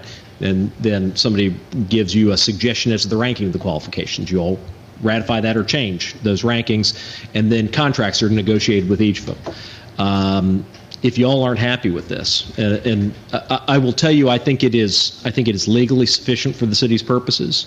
But if it is y'all's direction that you would rather have the city's standard engineering contract on it, that would be a very strong message for you all to say, table this and uh, have them sign our contract, or we don't have to do it. That's one of the beauties of st- putting out for multiple uh, continuing services contracts. Uh, Staff and the commission has a number of options to pick from, and if it doesn't work out with them, it doesn't work out. It puts the city in that context in a better negotiating position. So I'm very open to that direction as well, because they'll get the message real quick when they say, yeah, they, they didn't like that you didn't sign the standard contract. So um, we're open to any direction along those lines. Madam Mayor? Commissioner Tucker? Well, the next outfit may be just like this one. So, um, you know, I don't know what would be good or bad. Sure. Well, the one thing I can tell you is we have signed up with all of the other uh, engineering firms that went through the process with the city standard contract. So, um, so we've we've gone through everybody else. We've got everybody else that you all had had uh, ranked and said you know, go negotiate contracts. Everybody else you've already approved. This is the one that's lingered out here because uh, they wanted their own thing, and I had to try to do uh, microsurgery on you know a big wildebeest here. So, uh, what uh, with with your direction, I'm glad to go back to them and say, well, they, they didn't like that y'all wanted to use yours instead of ours, and then it's their decision, quite frankly, whether they want to do uh, business with the city. Madam Mayor, Commissioner Tucker? I withdraw my motion. I'm not surprised. Commissioner Tucker has withdrawn his motion, and we don't need a withdrawal of a second if we withdraw a motion. That's correct. Madam So, Mayor. Commi- Vice Mayor Rogers? Move to approve the contract on our City of Bunnell standard contracting addendum form. Second. That, that would be with direction that we go back to them, that you've approved it if it's upon the city's contract, and then it, correct. and then they can either choose to sign on that or not. Right. That's very good. So a motion was made by Vice Mayor Rogers, a second by Commissioner Tucker. Discussion by the board? Hearing none, I close our discussion, open for public discussion. Seeing no one come forward, I close public discussion. All those in favor of the motion signify by saying aye. Aye. Those opposed, motion carries. We will Request Communicate it out. approval for a piggyback contract renewal and blanket purchase order to Morton Salt for fiscal year 2018-19. What's the pleasure of the board regarding uh, piggyback contract renewal and blanket purchase order for Morton Salt? Madam Mayor, Vice Mayor Rogers? I move to approve uh, the piggyback contract with, for Mo- Morton Salt. I have a motion to approve by Vice Mayor Rogers. We have a second? Second. Second by Commissioner Tucker. Mike, did you want to say something? Just in case you had a question, I came up. Okay. Madam Mayor, Vice Mayor Rogers? it's getting of the snow real soon. We need to make sure them trucks are ready with the salt. Okay. All right. Any other comments by the board? Hearing none, I close our comments or uh, open for board, uh, open for public comments. Seeing no one come forward, I close public comments. All those in favor of the motion signify by saying aye. Aye. Those opposed? Motion. Forgot to say aye. Okay, you voted Sorry. then. All right. Okay. Uh, Request approval to purchase Thompson bypass four-inch pump via piggybacking Florida Sheriff's bid contract. Is that you, Mike? Yes, sir. Yes, ma'am. I'm assuming that going with the Florida Sheriff's bid contract is the better way to go? Yes, uh, I reached out to a couple different pump manufacturers. Um, Thompson was, is a local business, manufactured at Port Orange, and they gave me a very competitive quote for uh, a pump that meets many different needs for us. Um, We could definitely use it on that Thursday afternoon. Um, I actually reached out to Thompson to bring us a pump to rent um, for helping us with water flow. But the pump that we're getting quoted here and looking to purchase with approval is going to be able to help us with um, not only just emergency pumping out a situation like, you know, a water leak, but also when we're doing maintenance to sewer lines or water lines and we have to dewater the ground around it. Um, When we have a lift station fail, when power, we lose power from FPL, we lose power. This pump can be put on site, runs on gas, and it has floats and controls to automatically run that lift station. So this is better than a generator in that aspect. A generator will only provide power. If you have damage to your pump system or damage to your control board, this will run your lift station for you. Um, Not to mention the emergency pumping and bypass pumping. We have a project uh, rebuilding a lift station on the north end of town coming up this next two, three months, once we get going, once the DEO approves it. We're going to need this pump to provide bypass pumping for a lift station. And um, so it's a good time to pursue. We had budgeted money for a generator purchase. Uh, With our unfortunate hurricanes that we've had in the la- last fiscal year, we were qualified for a mitigation grant to apply for a couple of grant generators. Uh, If those generators are awarded through the grant, we are using that money on our budget to per- put towards this pump, so that's another. Okay. So what's the pleasure of the board reg- regarding this request? Madam Mayor. Vice Mayor Rogers? Move to approve. Have a motion to approve by Vice Mayor Rogers. Do I have a second? Second. Second by Commissioner Sewell. Discussion by the board. Hearing none, I close our discussion. Open for public discussion. Seeing no one come forward, I close public discussion. All those in favor of the motion signify by saying aye. Aye. Those opposed, motion passes. Request approval to piggyback City of Deltona and the City of Starke contracts to issue blanket purchase order for Hawkins Chemicals. Good evening. Again, Good Mike evening. Walden, City manager, or, oh, why did I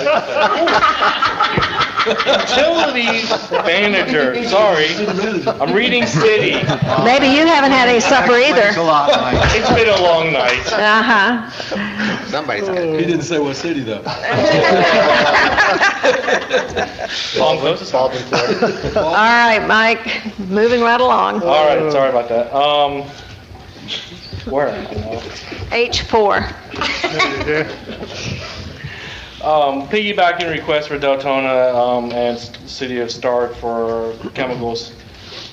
We use chlorine, ammonia, sodium bisulfite, calcium hypochlorite for all, all of our treatment needs for treatment process, for processing control. Um, best avenue for us, because we are small cities to piggyback larger cities that have uh, better agreement rates. Um, I am looking into other manufa- uh, actual manufacturer for our chemical usage. Um, we don't require enough on some of the chemicals, but our large chemical uses with chlorine, uh, which is sodium hypochlorite. Um, unfortunately, the manufacturers of the product can give it to us for less, but they have minimum load quantities where they have to deliver so many gallons, and we don't currently use that much. Um, I do hope to improve our costs on this in the future and maybe get some larger storage tanks so we can capitalize on that lower cost. But as of right now, Hawkins is a do-it-all type chemical company supplier where we can have one purchase order that takes care of um, all of our needs right now. All right, so you've heard the explanation. Madam Mayor. Vice Mayor Rogers. I'd Rogers, like to approve H4 and H5. Can I do that? Can we combine them, or they need to be separate, Mr. Voss? If you want to combine them, you can. There's nothing fundamentally that would stop you. All right, so I have a motion on the floor to approve H4 and H5. H5 is- is piggyback contract to order advanced environmental laboratories for fiscal year 2018-19. So a motion to approve by Vice Mayor Rogers. Do I have a second? Second. I have a second by Commissioner Sewell. Discussion by the board. Hearing none, I close our discussion. Open for public discussion. Hey, Stella. Hi, I just want to make sure we point out that these are contingent upon uh, the fiscal year 2019 uh, budget, which we approved earlier. And then on the advanced environmental one, there is also a waiver of the purchasing policy being uh, requested for those items that were not part of the piggyback contract. Okay. All right, so a- any other board comments? Madam Mayor, Commissioner I Sewell? just have one question for Mike. You ha, you know how much water that we produce on an annual basis, okay, that gets sent out through our distribution lines. Yes. Comparing that to the amount that gets metered, how much are we losing? Our last audit was two years, um, we, when we applied for our cup with St. John's. And I believe our audit uh, was very low. It was a seven or eight percent, um, that we had unmetered water. Um, we've strived to improve that as we built more hydrant meters so that when we're out flushing our crews, we're metering our own water more often. Um, we've installed automatic flushers at dead ends to help water move. Um, but it's it's a simple report that um, my operator calls utility billing for every month, and he gets their water usage billing, and he compares it against the waters produced, and we do maintain a pretty low number. Okay, that's good. I'm, I'm surprised it's that small, but I just thought it might be an area where the improvements in our water distribution system in the future will aid us in conservation. Yes, uh, I wish our percentage was much small like that on our wastewater side. We have a lot more infiltration of a problem than we do as a production problem. We, we, we are pretty good on our, our lines are good going out, but what, what's collecting is where we need to put some focus to. All right, so we have a motion on the floor and a second for H4 and H5 combined. All those in favor of the motion to approve signify by saying aye. Aye. Aye. Those opposed? Motion carries. H6 is request authorization for the purchase order for the new garbage truck.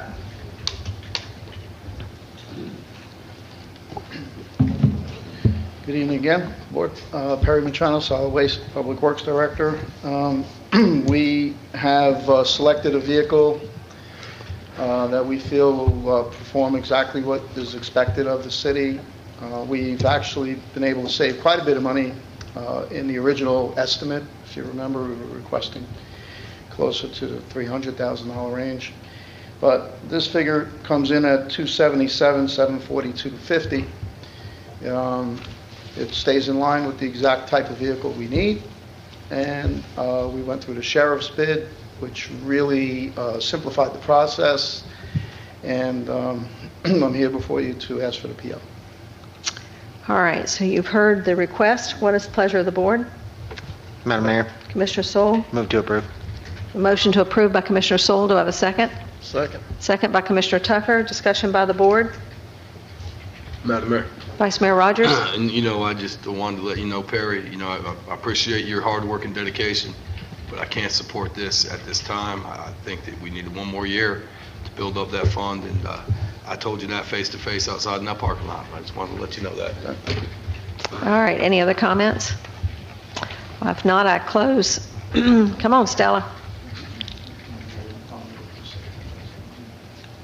Uh, Okay, Per- Per- Perry forgot to tell you that if we order it in September under the sheriff's bid, we would save $9,904.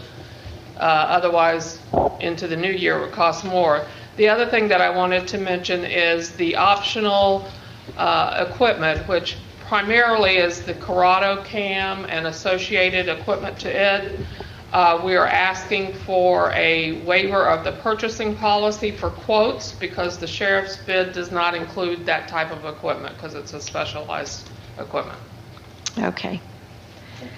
All right, so we have a motion and a second. We've had um, board comments. I'm now opening for public comments. Seeing no one come forward, I close public comments. Vice Mayor Rogers? Um, I do have a question then, uh, on the, on the can. It's $132,000 for the Curotto. Are they the only ones that sell it?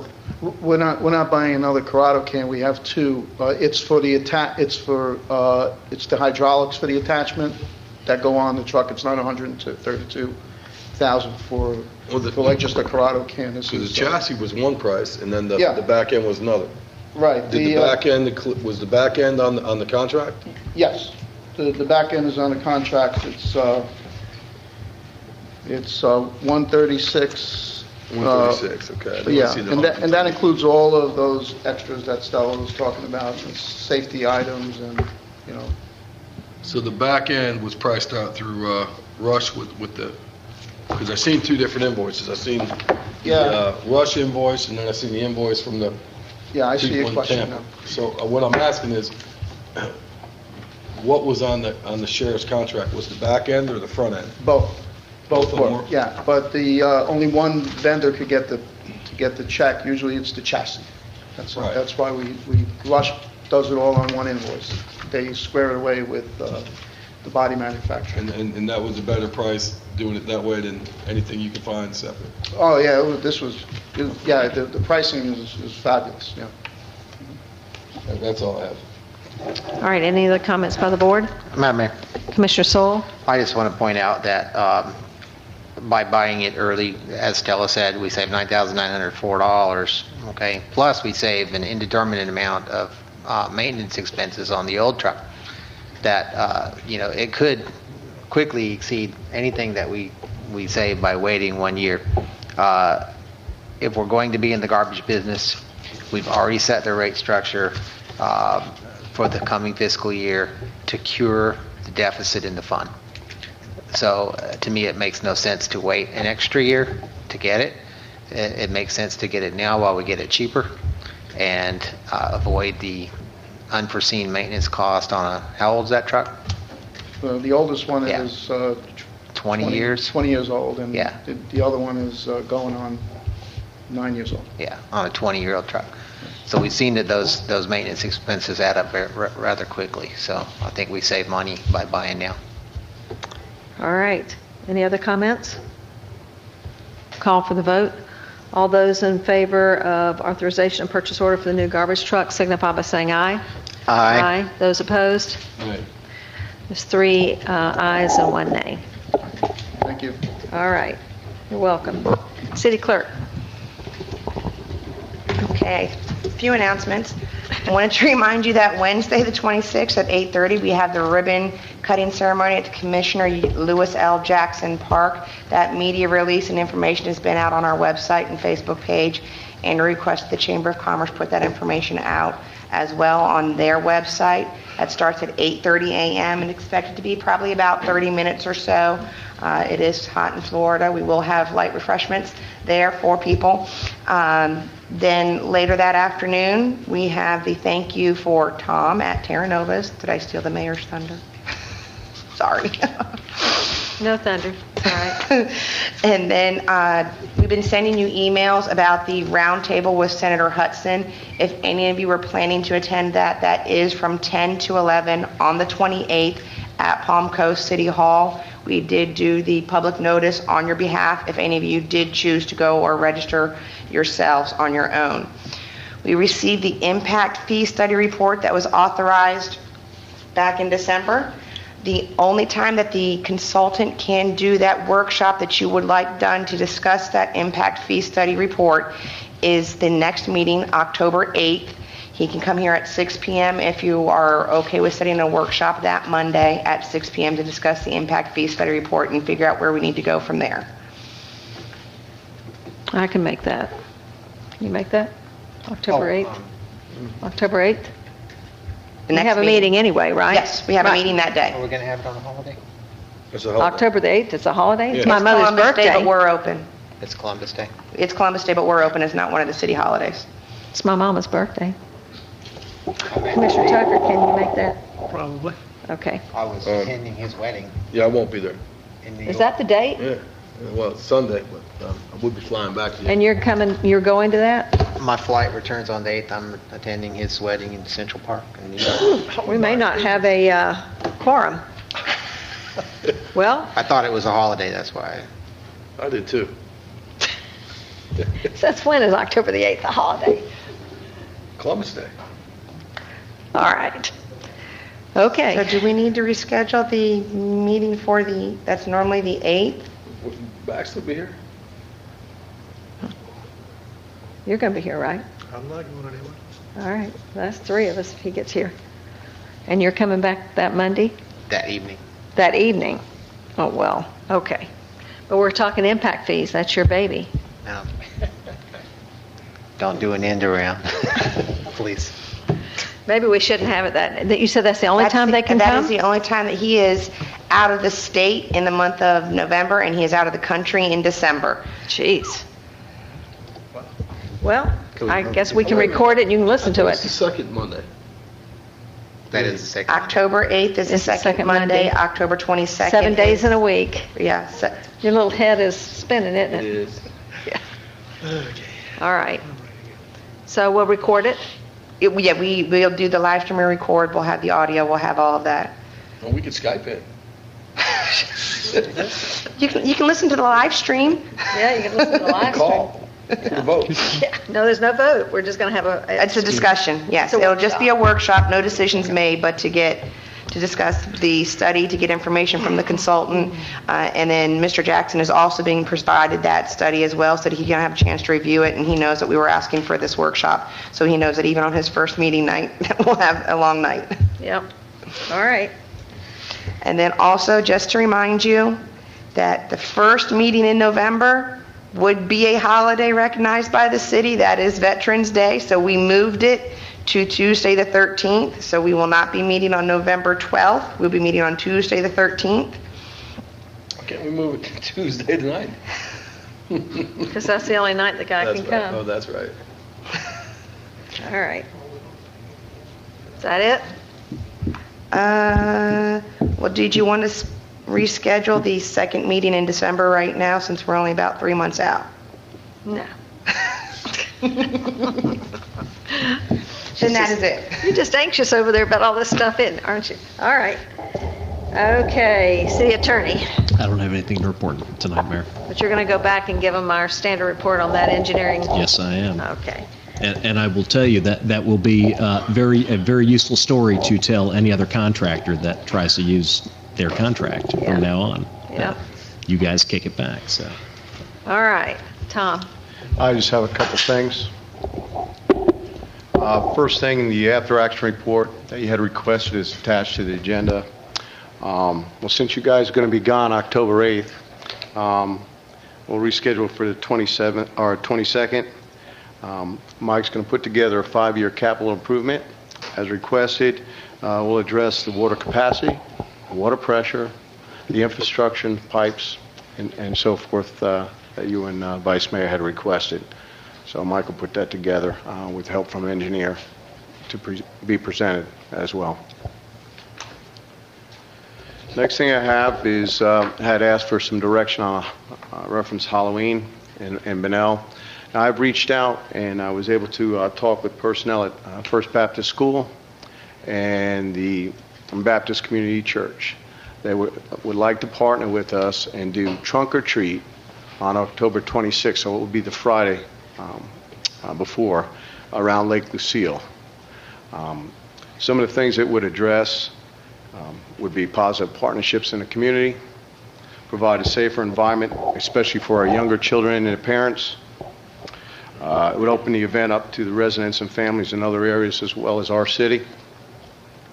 Um, It would address some of the uh, financial concerns raised by some of our residents in Colonial Park due to over 2,000 kids uh, in attendance last year. It would address the uh, additional concerns from the residents about uh, closing and, uh, down and blocking our neighborhood streets, thus restricting residents in- from entering and exiting our community. It would also address the cost factor, which is going to be over $2,000 cost to the city. And finally, you know, trick or treat on Halloween night would be like any other neighborhood in, uh, throughout the country. So, still asking for direction. I'm just reached out and confirmed some partnership if uh, that's the direction you would like to do it. Comments? I, I know about the trunk or treat. My church is one of those two churches. And we have done carnival on the Saturday before Halloween and elected to partner with the Christian school because we're not in competition, you know, so we're, we're both doing that on Friday night. And I, I don't have any problem with the city partnering up with that and encouraging that. But I have a little bit of a concern if we're just going to walk away from Halloween night and say it isn't going to happen and not block the streets and not have any type of support there because I don't know, even if we don't advertise it, I still think we're going to have, at least for the first year, uh, a lot of kids on the street, and I'm concerned about the safety of that.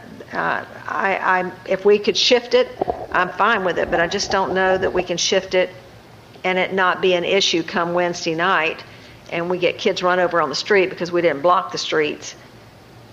Well, we've already set a contingency plan. I've already requested signage, lights, and so forth. Uh, So But you understand what I'm saying? I just don't know year one I agree. whether... Well, My picture, uh, what I'm, what you're telling me, uh, make sure uh, I'm getting it right. We're not going to advertise uh, Halloween in Correct. Bunnell. Correct. But, you know, because people are used to coming. We can still advertise provide- trunk or treat, We're going to advertise trunk or treat because we're going to be part of the partnership. right. Um, I've already, ta- I've talked to uh, Chief uh, Jerry Smith, who's in the audience. He's going to help provide a fire truck too, to uh, partnership with us too around Lake Lucille. Um, So, we'll, we'll have to put up some signage like last year and kind of phase out a little bit, but I understand the concern. Commissioner Sewell? Question for uh, Mr. Foster. And, and let me Okay. say, I apologize, I did not realize you were here for this issue, and I would have made you sit through this whole thing to discuss it had I realized, so I apologize. Madam Mayor, there's no need for that. I just came to, to try and get some insight on what we were going to end up doing this year. Okay. Um, Commissioner also- Sewell, I'm sorry I interrupted you. No problem, I was waiting for, uh, I was, I was going to say, as a co-sponsored event, then there would be no fees for a special event for the churches or anything else, this would be involved. And we could advertise it too on our uh, social media. my question was, um, do we have like a, uh, a volunteer network or something like that that can assist with things like, um, you know, directing people for traffic or parking or something like that? I mean, um, to eliminate some overtime expenses that we could, um, Yeah, we, we try to reduce that by, you you know, borrowing the REACT team. Yeah. Unfortunately, uh, you know, Palm Coast and everybody else is putting out requests as well, so we're in competition with the other jurisdictions. Okay. Any other comments?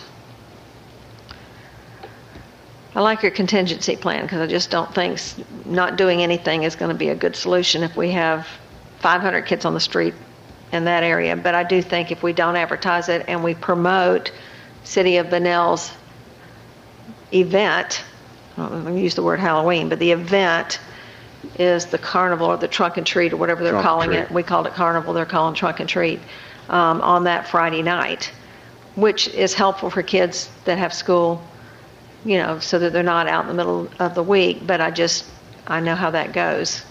And I just don't want any kid to get run over because we've decided we're not supporting the event and then we don't do anything. um, And ha- maybe have a better, and maybe what this will do is transition it. But I agree, if we don't advertise it, we don't put it on the website, we put the trunk and treat, and this is kind of the official event for the city of Bunnell, and try to redirect, let them go to Palm Coast, or wherever they're going to go. Okay. I mean, that's my 25% tonight. Y'all got any other thoughts about it? John? I think they're still going to come into the neighborhood. Yeah, know, You're not agree. going to stop that. Yeah. So, uh, you That's know, like, you know, one of our I would former like to city see some, managers uh, said they were going to put a sign up that said Halloween was canceled. Yeah, I remember that. Yeah. I'd like to see some law enforcement presence in the neighborhood because of that. You know, uh, there, like you said, if, if the roads, roadways are open, you know, I'd hate to see somebody get ran over, you know. But, uh, No, it's just, No, we're- we're still going to do an operations plan.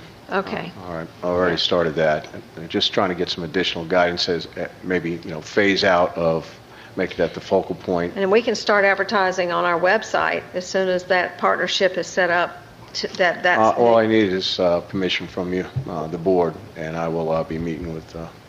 Someone from the Fine church with me. tomorrow.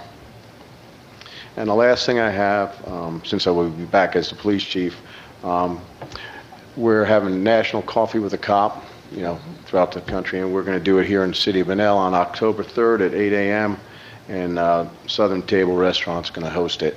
So if any of you Okay. can make it for a cup of coffee on me, I appreciate it. Aw. And that's it. All right. Commissioner Tucker?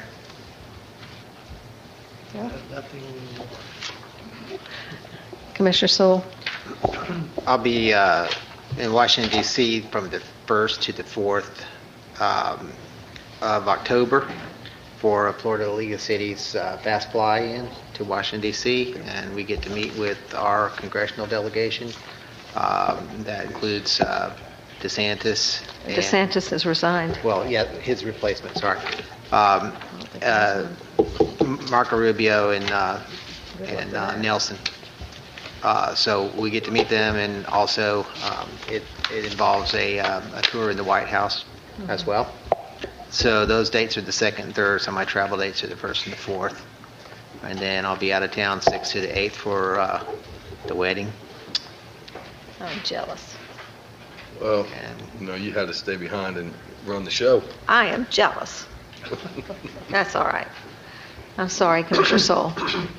Okay, so um, anyway, um, if there's anything that anyone wants answered or ask our congressional delegation, just let me know. Thank you. Vice Mayor Rogers. I have one question for him. When are we going to get our reimbursement from uh, The Hurricane hurricane. Irma? Yes. Can you ask that question? I will. Yes, thank you. And uh, I was, uh, How about Matthew? Matthew too. So, but, uh, yeah, I, I- the mayor, Madam Mayor hit me on the way in. I was on the radio with, uh, our new city manager, um, Friday, and, uh, you know, Melissa Holland was there, the mayor of Palm Coast, and, uh, and uh, we, we we had a good time, you know. I'm sure y'all did. Economic development stuff, and, uh, she was, um, impressed with his enthusiasm, you know. We have that contract signed, right? Yeah. Yes. All right. Anything else? No, that's all I have. All right. I appreciate the hard work to try to move through these items. We've had a long agenda tonight. I want to say again publicly how much I appreciate our interim city manager, Tom Foster, and the job you've done. I, I think you've done a phenomenal job. You brought us a balanced budget. You calmed the, uh, the restlessness in the city. We got people redirected and refocused back to doing the jobs that they should do. I know you had a team that worked with you. I know it's not you alone, but the leader starts at the top, and I appreciate your leadership. And we're going to celebrate that Wednesday. We're going to have a little I just- pizza. I just found out about that. Yeah, a little pizza, you know, and any and all of the employees have been asked that they can come by and spend a little time and say hello, and, and the police department can celebrate because they're going to get you back. And uh, we're happy for you to go back to your position, but what you did um, was exemplary, and I appreciate it personally, and I'm sure I speak for the whole board. Well, Thank you. Um, and I really enjoyed it. And thanks for the opportunity to become the city manager for seven months. I am glad to get back. He signed up for what, 30 days, 60 days? It was a 60-day window. But Yeah. I, I do want to say I truly uh, enjoyed working with everybody, especially in a different type position. And I great, greatly appreciate all the department heads for your hard work and, and dedication. So big thank you to you guys, because without Yeah. you guys, I wouldn't have been, been so so successful. So I do appreciate it. All right. That was seven months. Seven months, can you imagine? And Pierre you ta- gave me a hard I think time. you said no, within 30 days, sir. Look at all the money we saved. Well, when all the mayors were on the radio, Pierre came whizzing in and wanted to know how come we could hire a city manager in such a short period of time, and Palm Coast couldn't. And my answer was, we haven't hired anybody yet, and that was when we unhired the guy from New York. So um, it took us a little longer to get the job done, but it, it's all good. So, and I just appreciate. I appreciate your willingness to serve even past the 60-day window that we thought it was going to be. Um, and I think you got your feet under you, and it felt pretty good. So that's a good thing. Gave me great insight into the city and, and more appreciation uh, to the city manager's job. There you go. Nothing like walking in the moccasins, right? And a few more gray hairs. And I can fix that. All right. Um, I don't think I have anything else. So certainly Wednesday, we have a, a double duty to celebrate, so please uh, participate. Uh, Do I have a motion to adjourn? So moved. Second? Second. Have a motion by Vice Mayor Rogers, second by Commissioner Sewell. All those in favor say aye. Aye. Those opposed, thank you.